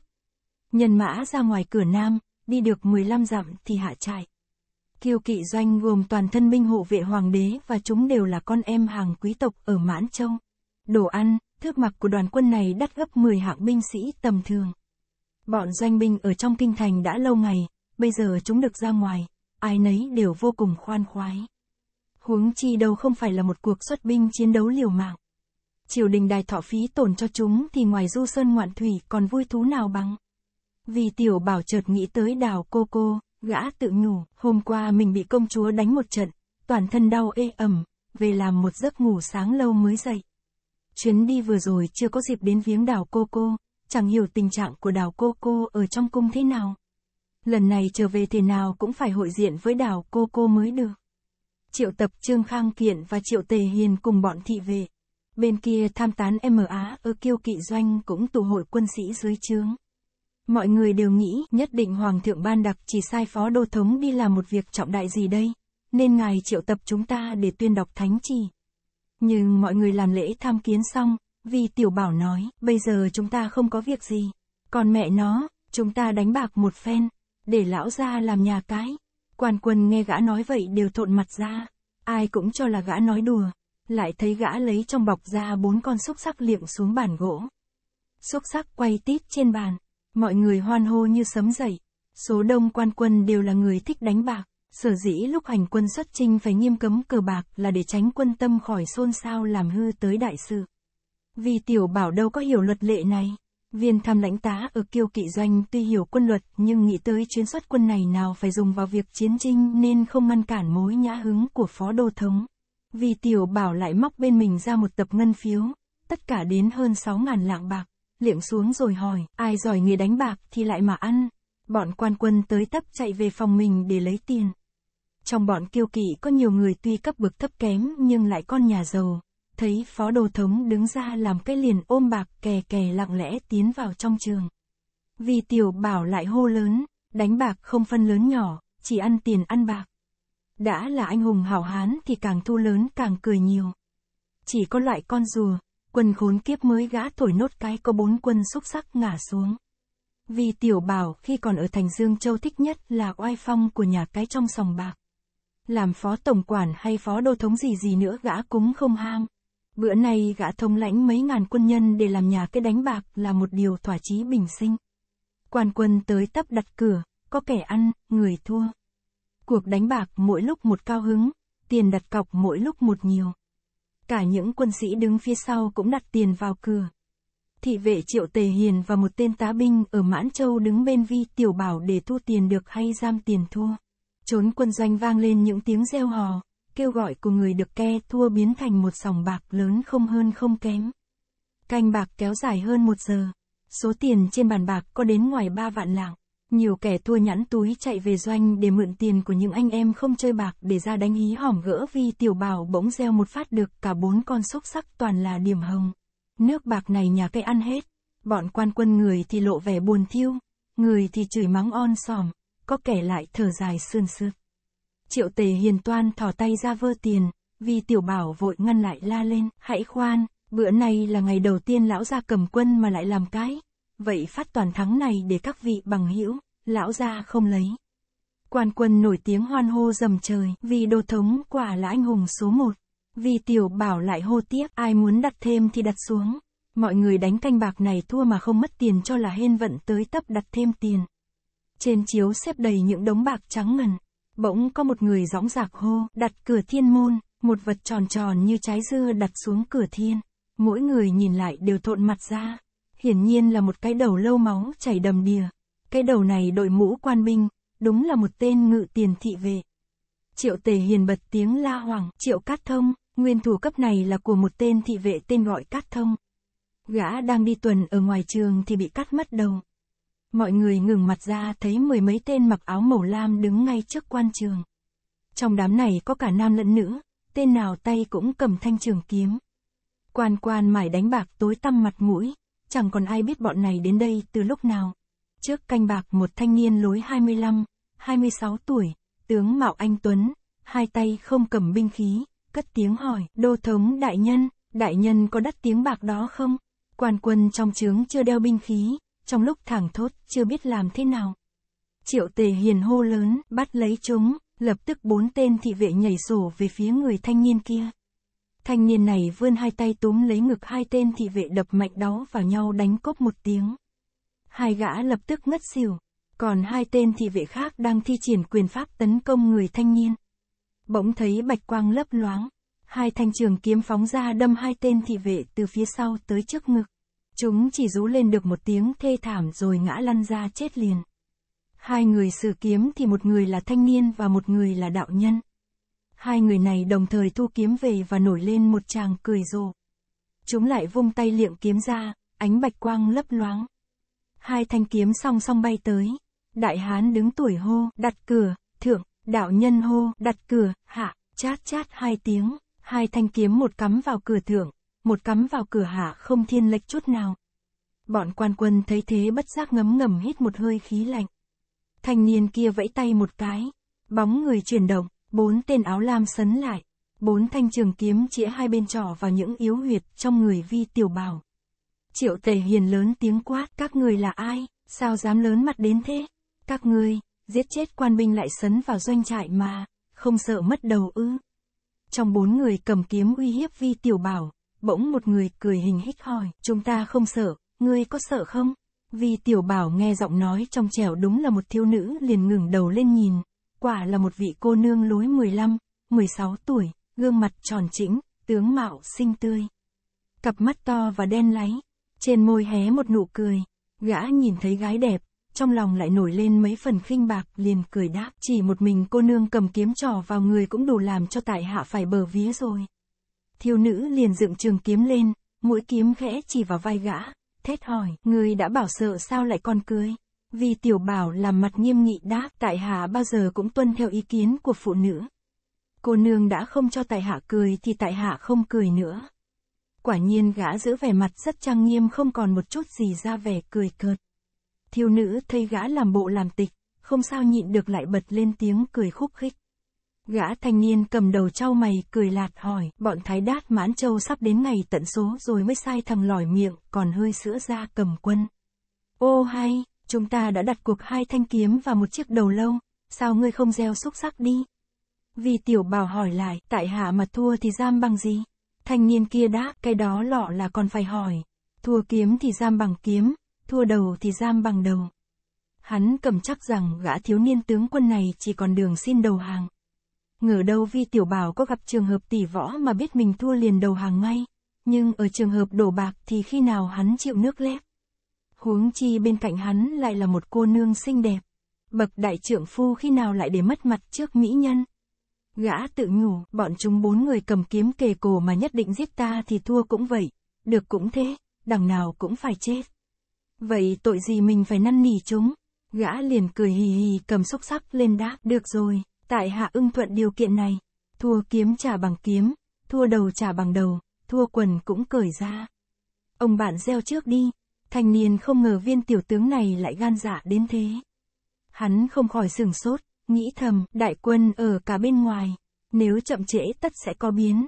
Hắn không muốn chần chừ vì sợ hơn hai ngàn quân mãn châu kéo ùa vào thì khó lòng đối phó. Gã thanh niên đưa mắt nhìn vi tiểu bảo thấy gã không lộ vẻ sợ hãi liền tự nhủ, ta mà không đánh bạc thì gã này có chết cũng không chịu phục. Hắn liền cầm lấy bộ xúc sắc gieo xuống thành sáu điểm.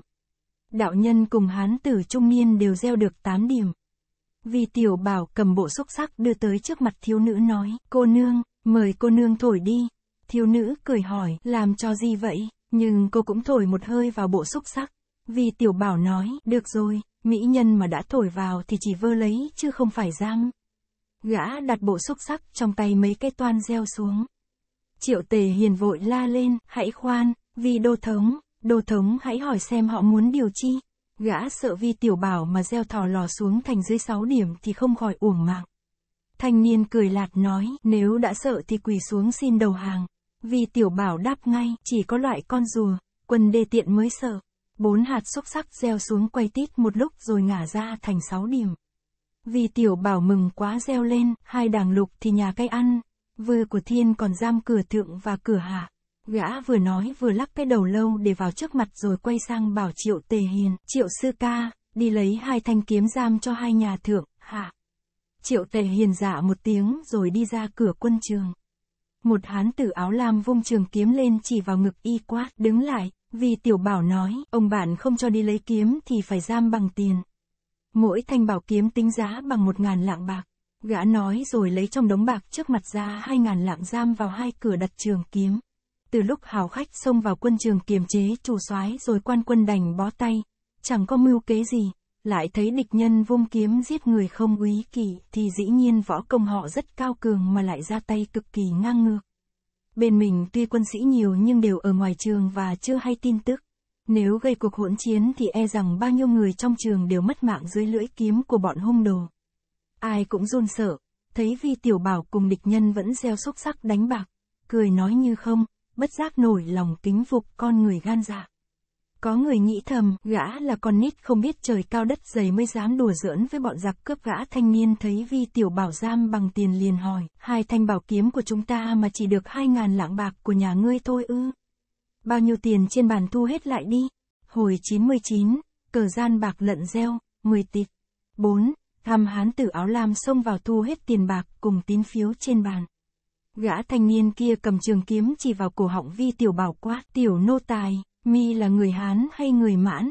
Vì tiểu bảo nghĩ thầm, nếu lão gia mà đầu hàng thì lúc chúng vừa tiến vào đã chịu ngay. Nếu bây giờ lại chịu khuất phục thì thành câu chuyện đầu voi đuôi chuột, tiền cổng tận phố. Bậc đại trưởng phu đã gan dạ thì gan dạ đến cùng. Gã nghĩ vậy liền cười khanh khách đáp, lão gia chính là Hoàng Kỳ Phó Đô Thống, tên gọi hoa sai tiểu bảo.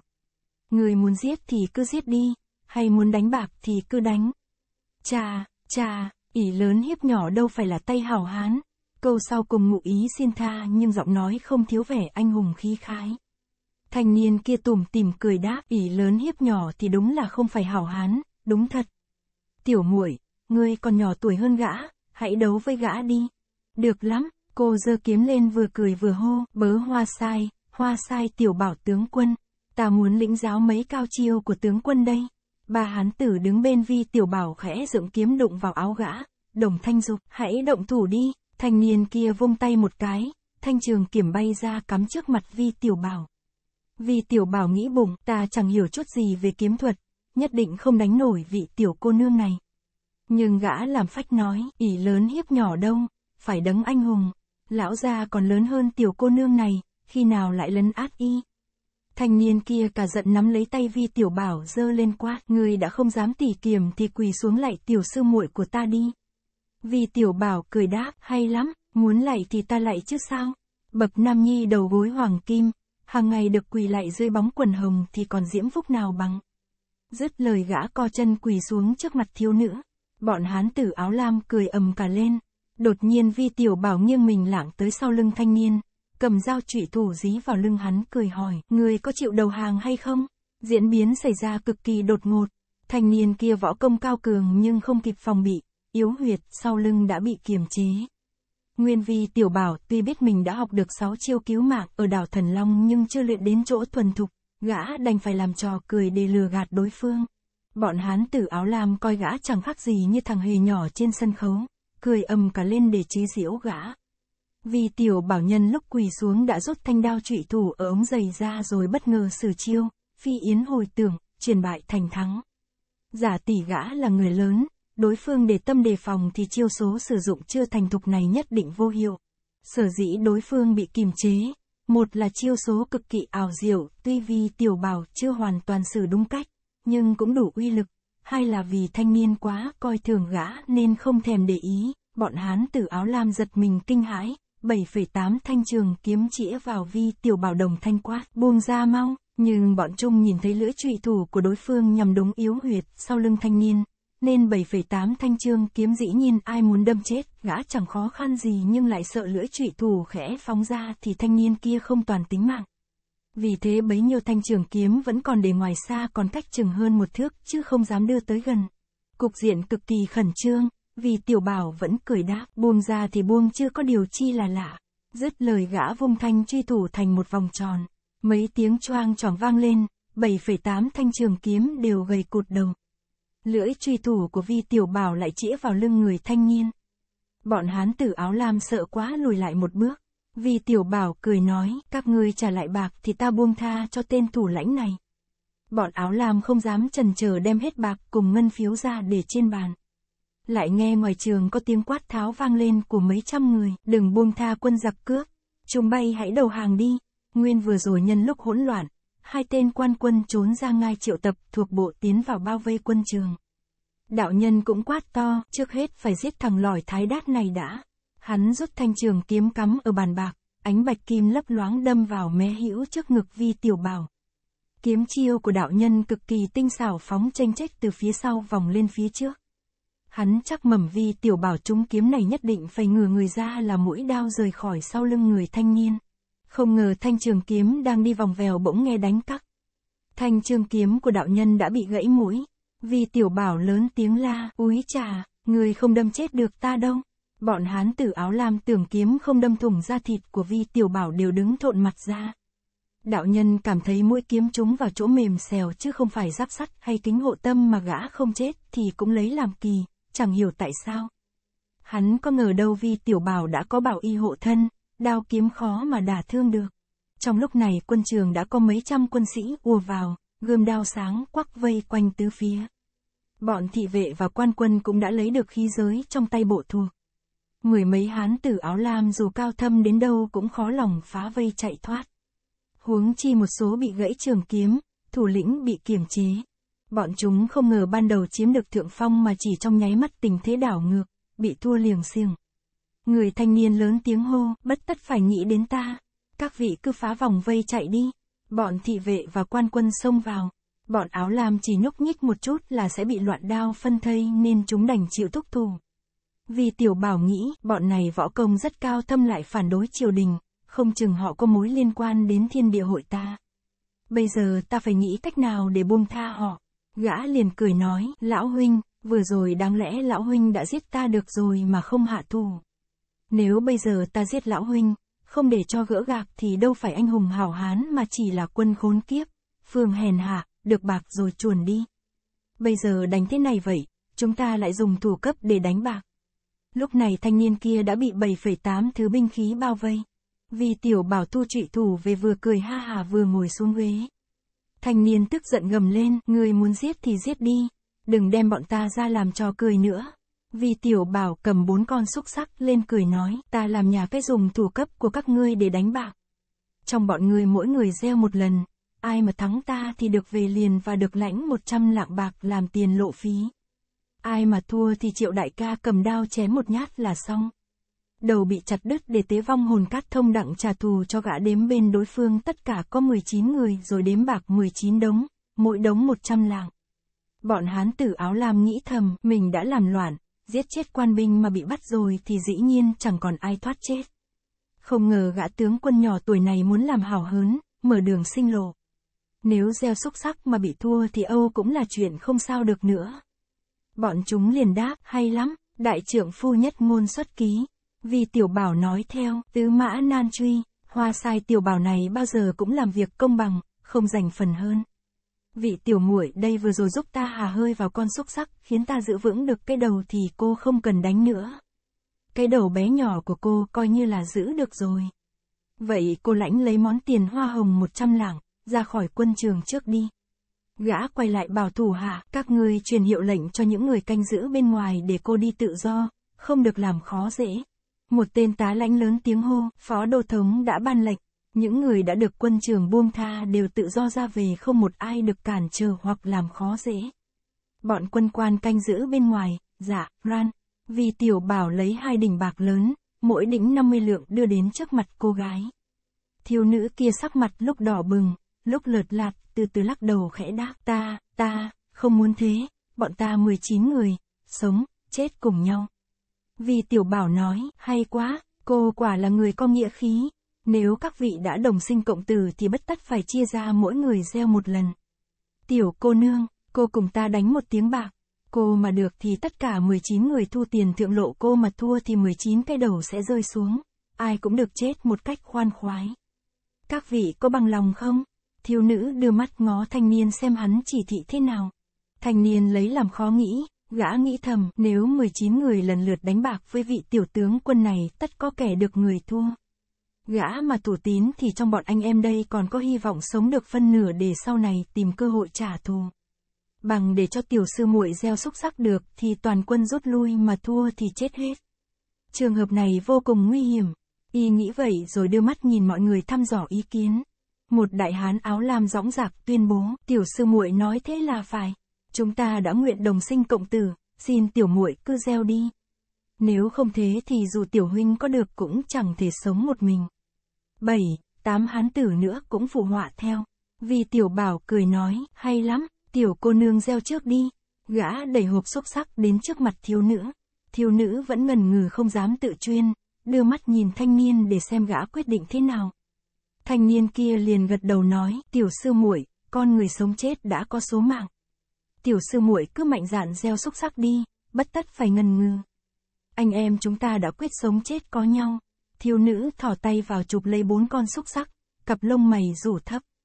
Đột nhiên, cô ngừng mặt lên nhìn vi tiểu bảo, tay run rẩy buông ra. Bốn con xúc sắc rơi xuống bát vạng lên những tiếng lách cách. Cô nhắm mắt không dám nhìn, chỉ nghe thấy tiếng người hô, tam, tam điểm, tam điểm rồi. Đồng thời vang lên tiếng hò hét, tiếng cười đắc ý của bọn quan quân, thị vệ. Thiếu nữ không hiểu cách đánh bạc này, nhưng nghe thấy câu cười tiếng nói của bọn quan binh ra chiều cao hứng, cô cũng hiểu rằng nước bạc mình gieo kém quá rồi. Cô mở mắt ra quả nhiên thấy sắc mặt của đồng môn đều tái mét. Nên biết bốn con xúc sắc gieo xuống thì nước bạc cao nhất là, trí tôn, tiếp theo là, thiên đối, địa đối, nhân đối, hỏa đối, mai hoa, trường tam, bản đăng, và, nghiêu đầu. Còn những nước không thành thì từ 9 điểm tới 4 điểm đều lớn hơn tam điểm. Thiếu nữ chỉ gieo được có, tam điểm, thì 10 phần đã chắc 9 phần thua rồi. Vì tiểu bảo dù gã có gieo được, tam điểm, thì gã là nhà cai vẫn thắng. Ai cũng cho là 19 cái đầu sắp phải rớt xuống đất. Đột nhiên một hán tử áo lam kêu ầm lên, thủ cấp của tại hạ thì phải do chính tại hạ gieo lấy, người khác gieo không kể.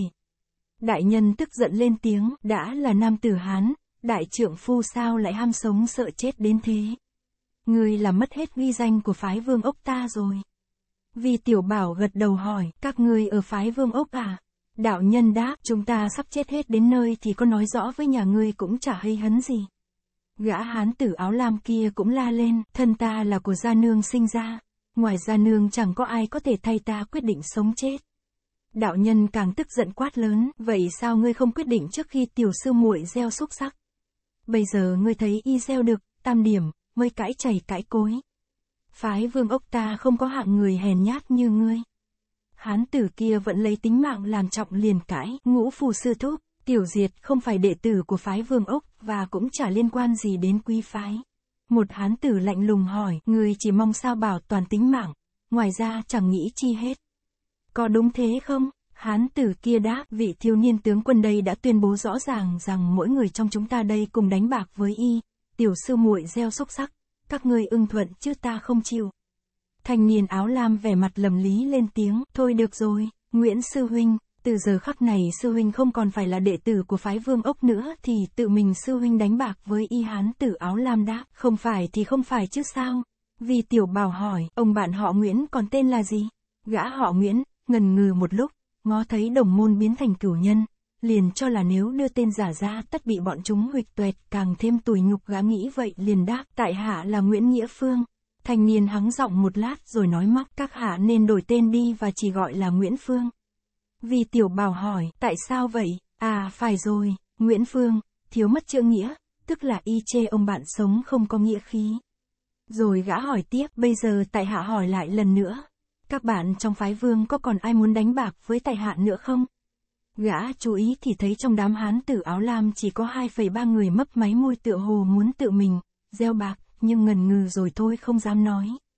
Vì tiểu bảo chẳng thấy ai lên tiếng liền nói tiếp, hay lắm, môn hạ phái vương ốc đều là tay hào kiệt, đầy lòng nghĩa khí.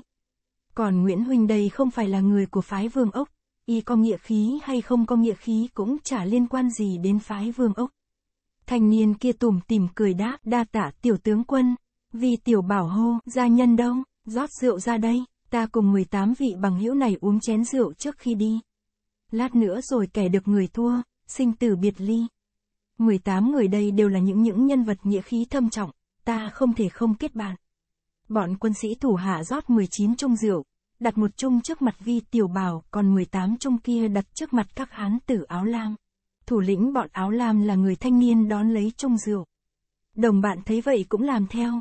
Thanh niên dõng dạc tuyên bố, chúng ta không kết bạn với bọn người Thái Đát, ở Mãn Châu. Nhưng vị tiểu tướng quân tính tình hào sảng, coi phái vương ốc của chúng ta một cách trọng vọng thì cùng y uống một chung cũng chẳng sao. Vì tiểu bảo nói, hay lắm, mời các vị cạn chung, gã uống một hơi hết sạch, 18 hán tử cũng uống một hơi rồi tới tấp liệm chung xuống đất. Nguyễn Nghĩa Phương tức giận, sám mặt quay đầu đi chỗ khác. Vì tiểu bảo lớn tiếng hô, 18 tay khoái đao hãy chuẩn bị. Nếu bản tướng gieo được từ, tam điểm, trở lên thì các vị lần lượt chặt đầu 18 vị bằng hữu này. Quan quân nghe nói dạ ran, 18 tên thị vệ đứng tuốt kiếm trực sẵn ở đằng sau 18 hán tử áo lam. Vì tiểu bảo nghĩ thầm, bộ xúc sắc này ta đã đổ trì vào bên trong, muốn gieo thành một. Hai chẳng khó khăn gì, nhưng ít lâu nay mình không tập luyện e rằng bàn tay không còn được điêu luyện. Nếu sai chật một chút là không khỏi giết chết 18 mạng người. Bọn được dựa thối tha kia chẳng kể làm gì nhưng để cô gái nguyệt thẹn hoa nhường này phải chết á chẳng phải là điều đáng tiếc. Gã cầm bốn con xúc sắc trong tay hà hơi vào rồi gieo xuống. Đoạn gã đặt tay trái bưng lấy miệng chén. Tiếng xúc sắc lọc cọc rồi im tiếng. Vì tiểu bảo chưa chắc nắm phần bại liền để ngón tay thành kẽ hở. Liếc mắt nhìn vào thì thấy hai con hai điểm, một con một điểm và một con năm điểm cộng lại thành 10 tịt. 10 tịt, tức là số O, số bết nhất trong cách đánh bài này. Không còn số nào kém hơn được nữa nên gọi là 10 tịt. Gã đã định bụng nếu thủ pháp không linh, gieo thành 3 điểm trở lên cũng cứ nói bừa là 1,2 điểm đồng thời rung động cây chén cho những con xúc sắc thành lộn nháo nhào, theo cách tử vô đối chứng. Dù bọn thuộc hạ của mình có đem lòng ngờ vực cũng không dám công khai dị nghị. Bây giờ gã đánh nước bạc gian lận mà thành công. Trong lòng ngấm ngầm mừng rỡ. Tay gã mở miệng chén ra rồi cất giọng thoá mà. Còn mẹ nó, lão muốn chặt phứt cánh tay này đi cho rồi. Đoạn gã cườm cánh tay trái lên đánh xuống tay mặt tuồng có vẻ rất là giận dữ. Mọi người coi nước bạc rồi đều lớn tiếng la, mười tịt, mười tịt, bọn hán tử áo lam thoát chết một cách bất ngờ. Chúng không nhịn được, hoan hô ầm ĩ. Tên thủ lĩnh là gã thanh niên mặc áo lam nhìn vi tiểu bảo tự hỏi, bọn thái đát ở Mãn Châu chẳng kể gì đến tín nghĩa. Không hiểu thằng lòi này có trọng lời hứa chăng? Vi tiểu bảo trỏ vào đống bạc hỏi, thắng rồi sao không lấy bạc đi hay là còn muốn đánh nữa? Thanh niên đáp, các hạ thủ tín với thiên hạ, đúng là một đấng anh hùng. Xin đa tạ các hạ, bọn tại hạ không dám lĩnh bạc, mong rằng sau này có may tái hội. Hắn chắp tay vái chào toan chờ nón bước đi.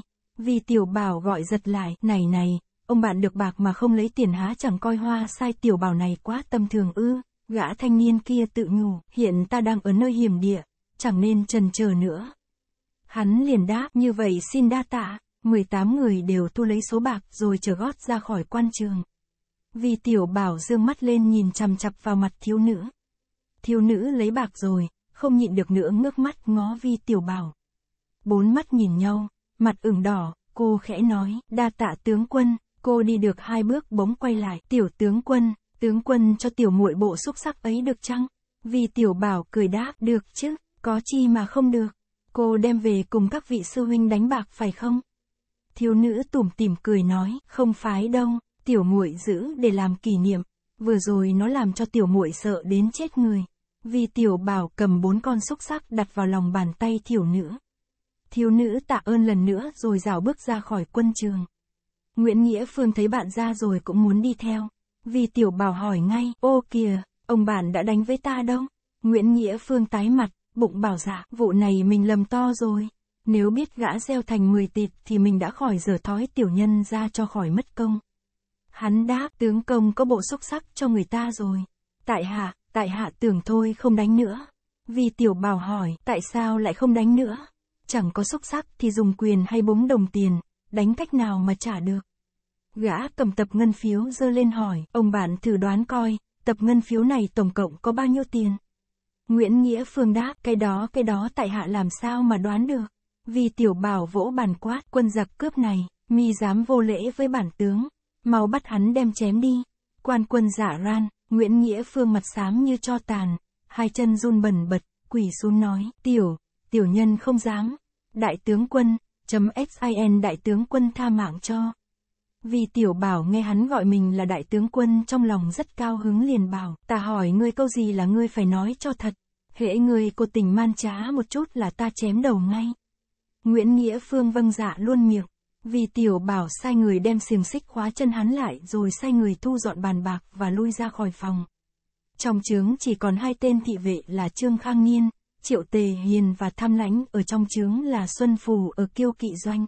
Trương Khang Niên bắt đầu cuộc tra vấn, hắn hỏi câu nào là Nguyễn Nghĩa Phương trả lời câu đó, không dám giấu diểm chút nào. Nguyên trưởng môn phái Vương Ốc là tư đồ bá lôi trước là phó tướng của nhà Minh dưới trướng quan tổng binh Ngô Tam Quế ở Sơn Hải Quan. Hồi 100, vì tiểu bảo phe này bị hố to. Ngô Tam Quế chấn rũ Sơn Hải Quan để chống cự quân Mãn Châu vào xâm lược. Tư đồ bá lôn là tay kiêu dũng mà lại thiện chiến nên lập được nhiều công trạng. Sau Lý tự thành đánh phá Bắc Kinh, Ngô Tam Quế hướng dẫn quân Thanh vào quan ải. Từ đổ bá ao lên lãnh binh ra tác chiến với bọn Lý tự thành từng phá được sấm quân, giết được vô số binh tướng. Lão là người đầu tiên vào đánh Bắc Kinh, khi đó lão tưởng quân Thanh kéo vào quan ải chỉ vì mục đích báo thù cho sùng trinh hoàng đế. Ngờ đâu quân Thanh lại thừa cơ chiếm lấy Giang Sơn của người Hán và Ngô Tam Quế là một tên đại Hán gian. Tư đồ bá lôi cực kỳ phần nộ lập tức bỏ lên núi Vương Ốc ẩn cư. Tư đồ bá lôi võ công đã cao cường, lại nhân thời kỳ ẩn cư chuyên tâm rèn luyện, bản lãnh lão ngày càng tiến bộ. Bọn thủ hạ của tư đồ bá lôi có nhiều người không muốn đầu hàng nhà mãn thanh đều tụ tập về núi Vương Ốc. Tư đồ bá lôi rảnh việc liền đem võ công truyền thụ cho bọn thủ hạ rồi tự nhiên biến thành phái Vương Ốc. Phái Vương Ốc trước có tình thầy trò, sau mới thành môn phái nên khác hẳn các môn phái khác. Cái tên tư đồ bá lôi bọn Trương Khang Niên đã được nghe qua. Nguyễn Nghĩa Phương lại cho hay gã thanh niên cầm đầu bọn áo lam tên gọi tư đồ hạc, con thứ ba của tư đồ bá lôi. Còn ngoài ra là sư huynh, sư đệ đồng môn. Trong bọn này có một vị niên trường bọn chúng xưng hô bằng sư thúc. Nguyễn Nghĩa Phương lại cho hay thiếu nữ đó tên gọi là Tăng Nhu. Phụ thân cô là bộ hạ của tư đồ, mấy năm trước, phụ thân cô lúc lâm trung đã sai cô đến xin làm môn hạ của phái này. Mới đây quần hào phái Vương Ốc được tin con trai Ngô Tam Quế là Ngô ứng hùng tới Bắc Kinh. Tư đồ trưởng môn liền phái bọn thuộc hạ đến ra mắt gã. Nhân đi đường qua đây thấy một doanh trại của quân thanh dựng nên, tư đồ hạc hãy còn nhỏ tuổi, bản tánh hiếu sự liền trà trộn vào thám thính thì thấy mọi người đang đánh bạc. Hắn muốn động thủ đánh trước, thực ra không phải để ý đến tiền bạc mà chỉ cốt đánh giết quân mãn châu cho tan nhuệ khí. Vì tiểu bảo hỏi, bọn người định đến ra mắt con trai ngô tam quế để làm gì? Nguyễn Nghĩa Phương đáp, gia sư dặn bọn tại hạ nghĩ cách bắt gã đem lên núi vương ốc uy hiếp ngô tam quế bức bách hắn bức bách hắn. Vì tiểu bảo hỏi dồn, sao, bức bách hắn tạo phản phải không? Nguyễn Nghĩa Phương đáp, đó là lời dạy của gia sư, không liên quan gì đến tiểu nhân. Tiểu nhân giữ lòng chung với nhà Thanh, quyết không dám tạo phản. Bữa nay tiểu nhân đã chặt đứt quan hệ với phái vương ốc tức là không chịu theo bọn nghịch tặc, bỏ chỗ tối ra chỗ sáng, khởi nghĩa ngay trước trận. Vì tiểu bảo vung cước đá gã một cái, vừa cười vừa thoá mà, còn mẹ nó, ngươi mà là một tay đại nghĩa sĩ. Nguyễn Nghĩa Phương tuy không né tránh, chịu hứng cây đá, miệng đáp, dạ, dạ, tiểu nhân hoàn toàn trông cậy vào sự tài bồi của tiểu tướng quân. Từ nay nếu tiểu nhân được tiểu tướng quân cho làm tôi mỏi, tiểu nhân xin dốc giả trung thành. Dù phải nhảy vào đống lửa cũng không lùi bước, vì tiểu bảo nghĩ thầm, việc ta buông tha cho bọn tư đồ hạc, tăng nhu, e rằng bọn trương khang niên và đoàn thị vệ không phục. Bây giờ ta phải cho chúng lợi một chút, nhà cái mới gỡ được mặt mũi. Gã trầm ngâm một lát, quyết định chủ ý rồi, đập mạnh tay xuống bàn quát, mi là tên phản tặc to gan lớn mật, hiển nhiên đến câu kết với ngô tam quế tạo phản triều đình. Còn mi nói đến bắt con y thì được lợi gì? Mi muốn giấu giếm cho y phải không? Tổ bà quân khốn kiếp. Thủ hạ đâu? Nọc hắn ra mà đánh một trận cho gã biết phép nước. Lập tức bảy tám tên quân ngoài cửa trướng nhảy vào vật Nguyễn Nghĩa Phương xuống đất, dùng côn đánh một hồi đến nát ra giữa thịt. Vì tiểu bảo hỏi, mi ra chịu công sưng chưa? Mi bảo tới bắt con ngô tam quế sao lại trà trộn vào quân trường ta để sát hại ngự tiền thị về.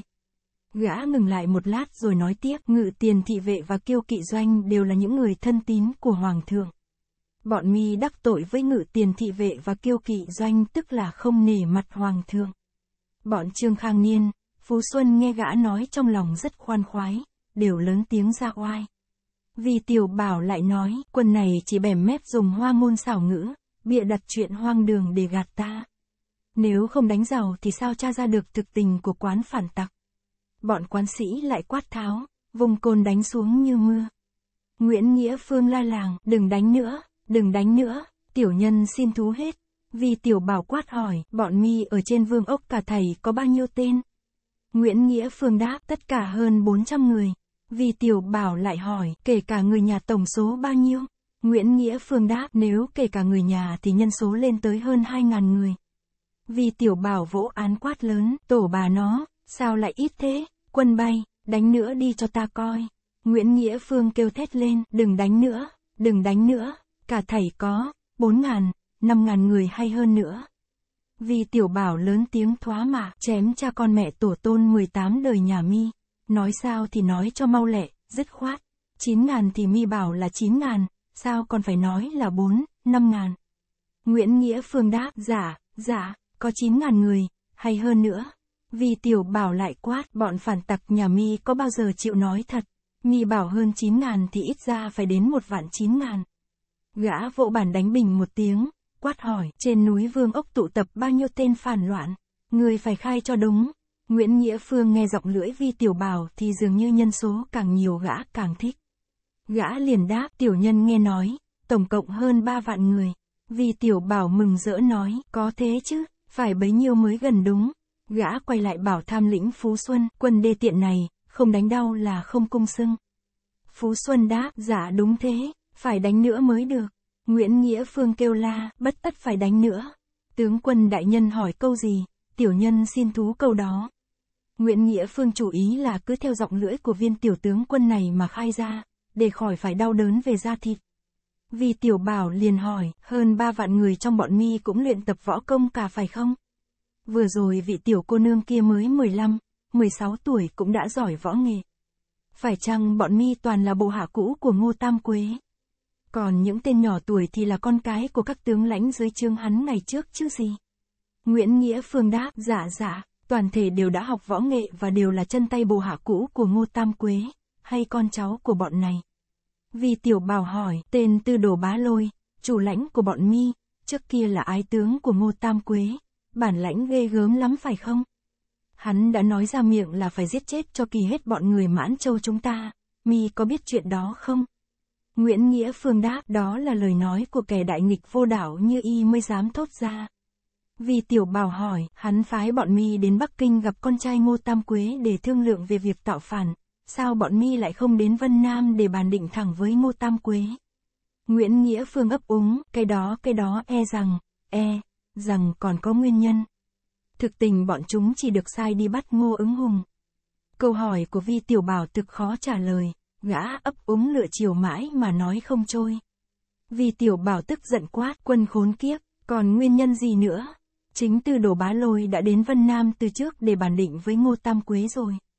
Có đúng thế không? Nguyễn Nghĩa Phương ngập ngừng đáp dường như, dường như đúng thế vì tiểu bảo vỗ bàn thoá mà, còn mẹ nó, đúng là đúng mà không đúng là không đúng. Sao còn dường như với chẳng dường như. Nguyễn Nghĩa Phương vội nói theo, dạ, dạ, đúng thế, Hắn đi Vân Nam rồi. Bọn Trương Khang Niên, Triệu Tệ Hiền, Phú Xuân nghe Vi Tiểu bảo dẫn dụ cho Nguyễn Nghĩa Phương công khai buộc Bình Tây Vương Ngô Tam Quế vào tội tạo phản đại nghịch, đều không khỏi ngơ ngác nhìn nhau. Chúng ngấm ngầm kinh hãi, không hiểu gã có dụng ý gì. Vi Tiểu bảo lại hỏi, tại sao tên tướng thân ái của Ngô Tam Quế là tư đồ bá lôi dẫn hơn ba vạn tinh binh lại không đóng chạy tại Vân Nam? Tổ bà nó, núi Vương Ốc ở địa phương nào? Gã nghĩ bụng, nếu nói Vương Ốc cũng ở trong tỉnh Vân Nam thì mình bỏ câu này là giải.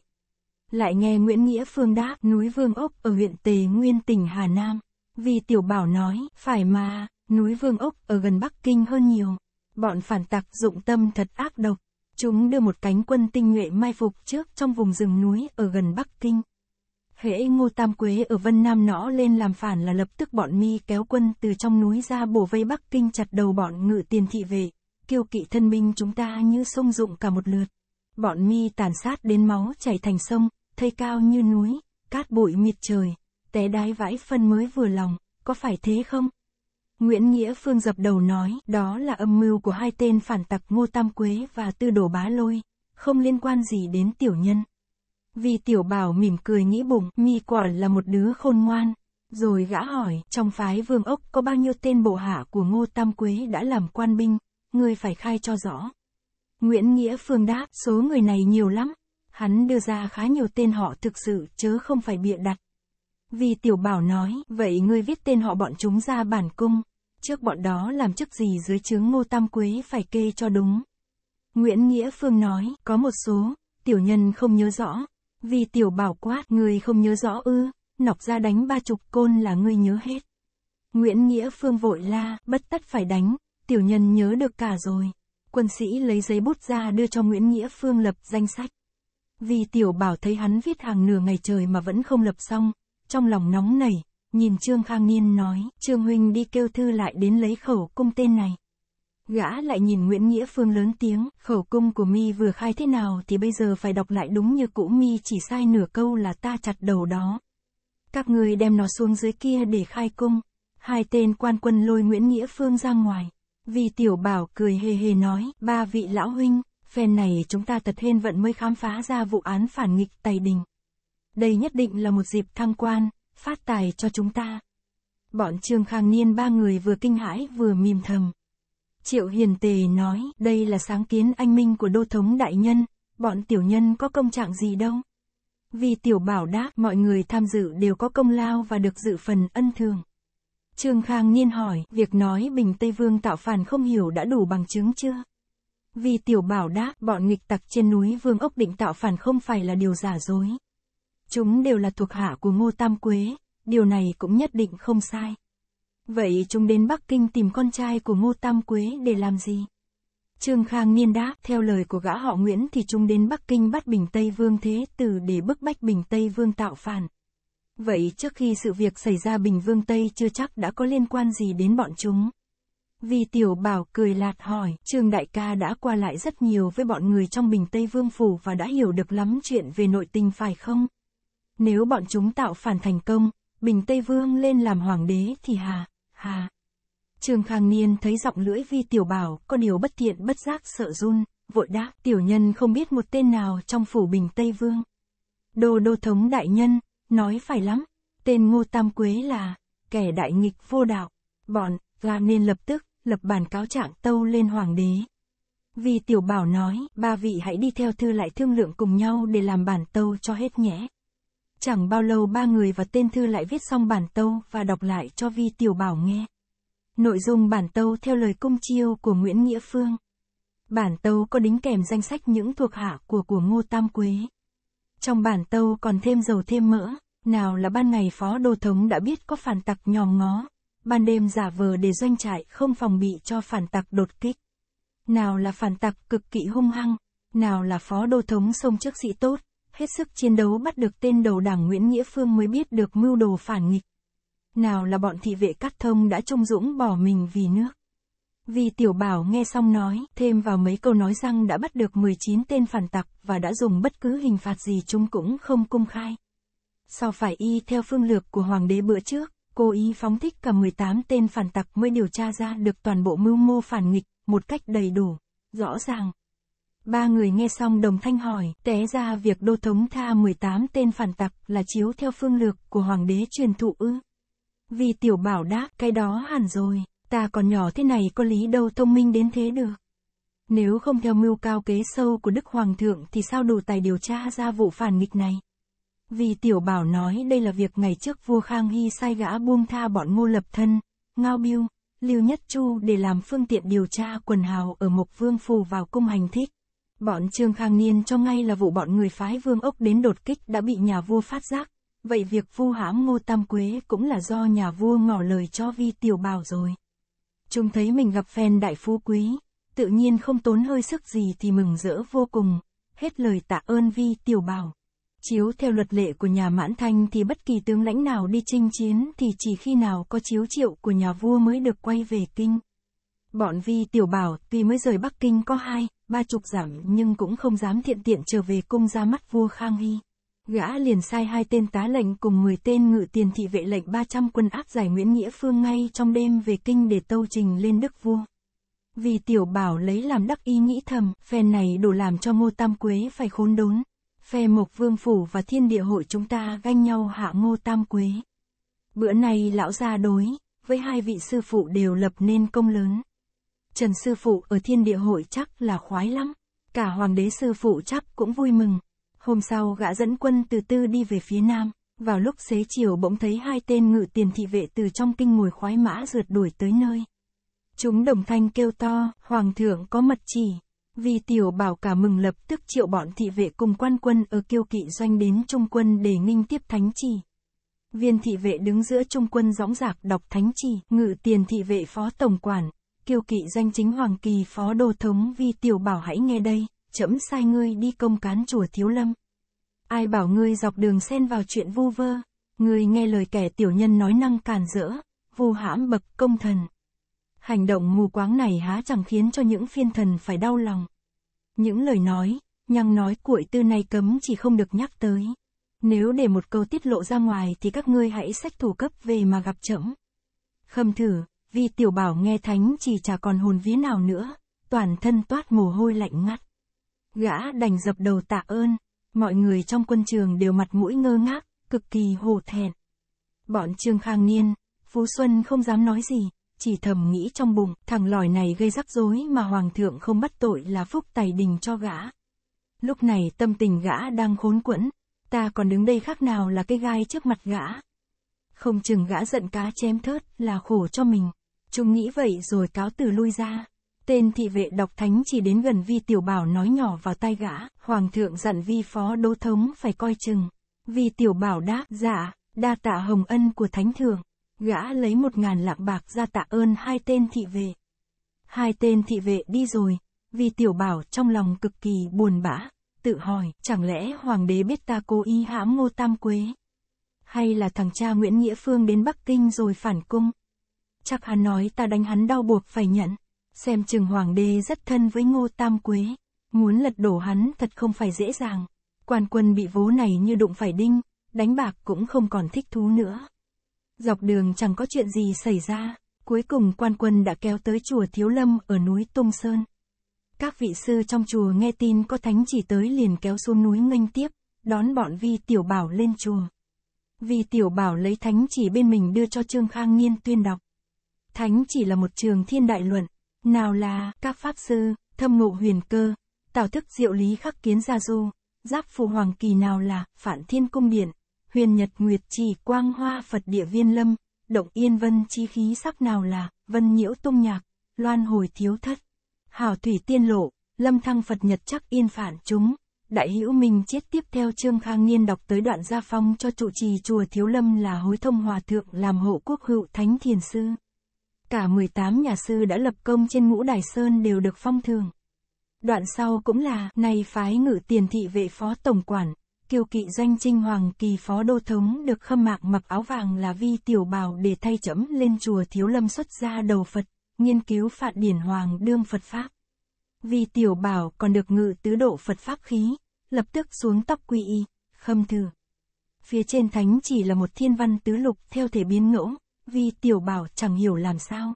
Đoạn dưới gã hiểu được, mặt mày tái mét, vua Khang Hy bảo gã lên ngũ đài sơn, làm hòa thượng, Gã đã tuân mệnh rồi, ai ngờ ngài lại sai gã lên chùa thiếu lâm thệ phát quy y, đạo thánh này gã mang ở trong mình. Dĩ nhiên dọc đường không dám mở ra coi lén, dù gã có coi chăng nữa cũng chả hiểu thánh chỉ viết những gì. Hối thông thiền sư cùng quần tăng nghe đọc chỉ xong đều dập đâu tạ ơn. Vì tiểu bảo đứng bên giờ khóc giờ cười, trong lòng rất đỗi băn khoăn. Hối thông thiền sư nói, vì đại nhân xuất gia thay hoàng thượng là một điều vinh dự lớn cho bản tự. Thiền sư lấy dao cạo ra rồi nói tiếp vì đại nhân thay mình Đức Hoàng thượng là một chuyện không phải tầm thường. Lão Tăng không dám làm sư phụ mà chỉ thay mặt tiên sư thu nạp làm đệ tử, tức là sư đệ của Lão Tăng. Pháp danh của sư đệ là Hối Minh, trong chùa thiếu lâm pháp hiệu bằng chữ, hối, chỉ có hai người là Lão Tăng và sư đệ. Vì tiểu bảo nghe tới đây đành quỳ xuống, chịu lễ thế phát. Hối thông thiền sư ra tay cạo trước đỉnh đầu gã ba cái rồi giao cho thế độ tăng cạo nốt. Đầu tóc của Vi Tiểu Bảo đã bị cháy trụi, chỉ còn lơ thơ mấy sợi tóc nên cạo rất mau, chỉ loáng cái đã xong. Hối thông thiền sư đọc mấy câu, thiếu lâm tố bích, bất dĩ vi ngại đại đế xuất gia, bất dĩ vi thái trần thế vinh hoa, tích thế kim minh bất khứ bất lai, hà tồn hà tăng thiền sư lại lấy ngự từ độ diệp của hoàng đế ra. Lão viết hai chữ, hối minh, nhét vào trong diệp rồi dẫn vi tiểu bảo lên làm lễ tam bảo. Quần tăng đồng thanh tuyên Phật hiểu. Vì tiểu bảo mắng thầm trong bụng, mồ cha tổ tôn 18 đời lão chọc không biết tu nhân tích đức, lại đem đầu lão ra ra cạo chọc. Lão ra niệm một câu, tổ bà quân khốn kiếp. Đột nhiên gã tự thương thân lớn tiếng khóc ròng, khiến cho quần tăng cùng quan quân đều kinh ngạc đến thộn cả mặt ra.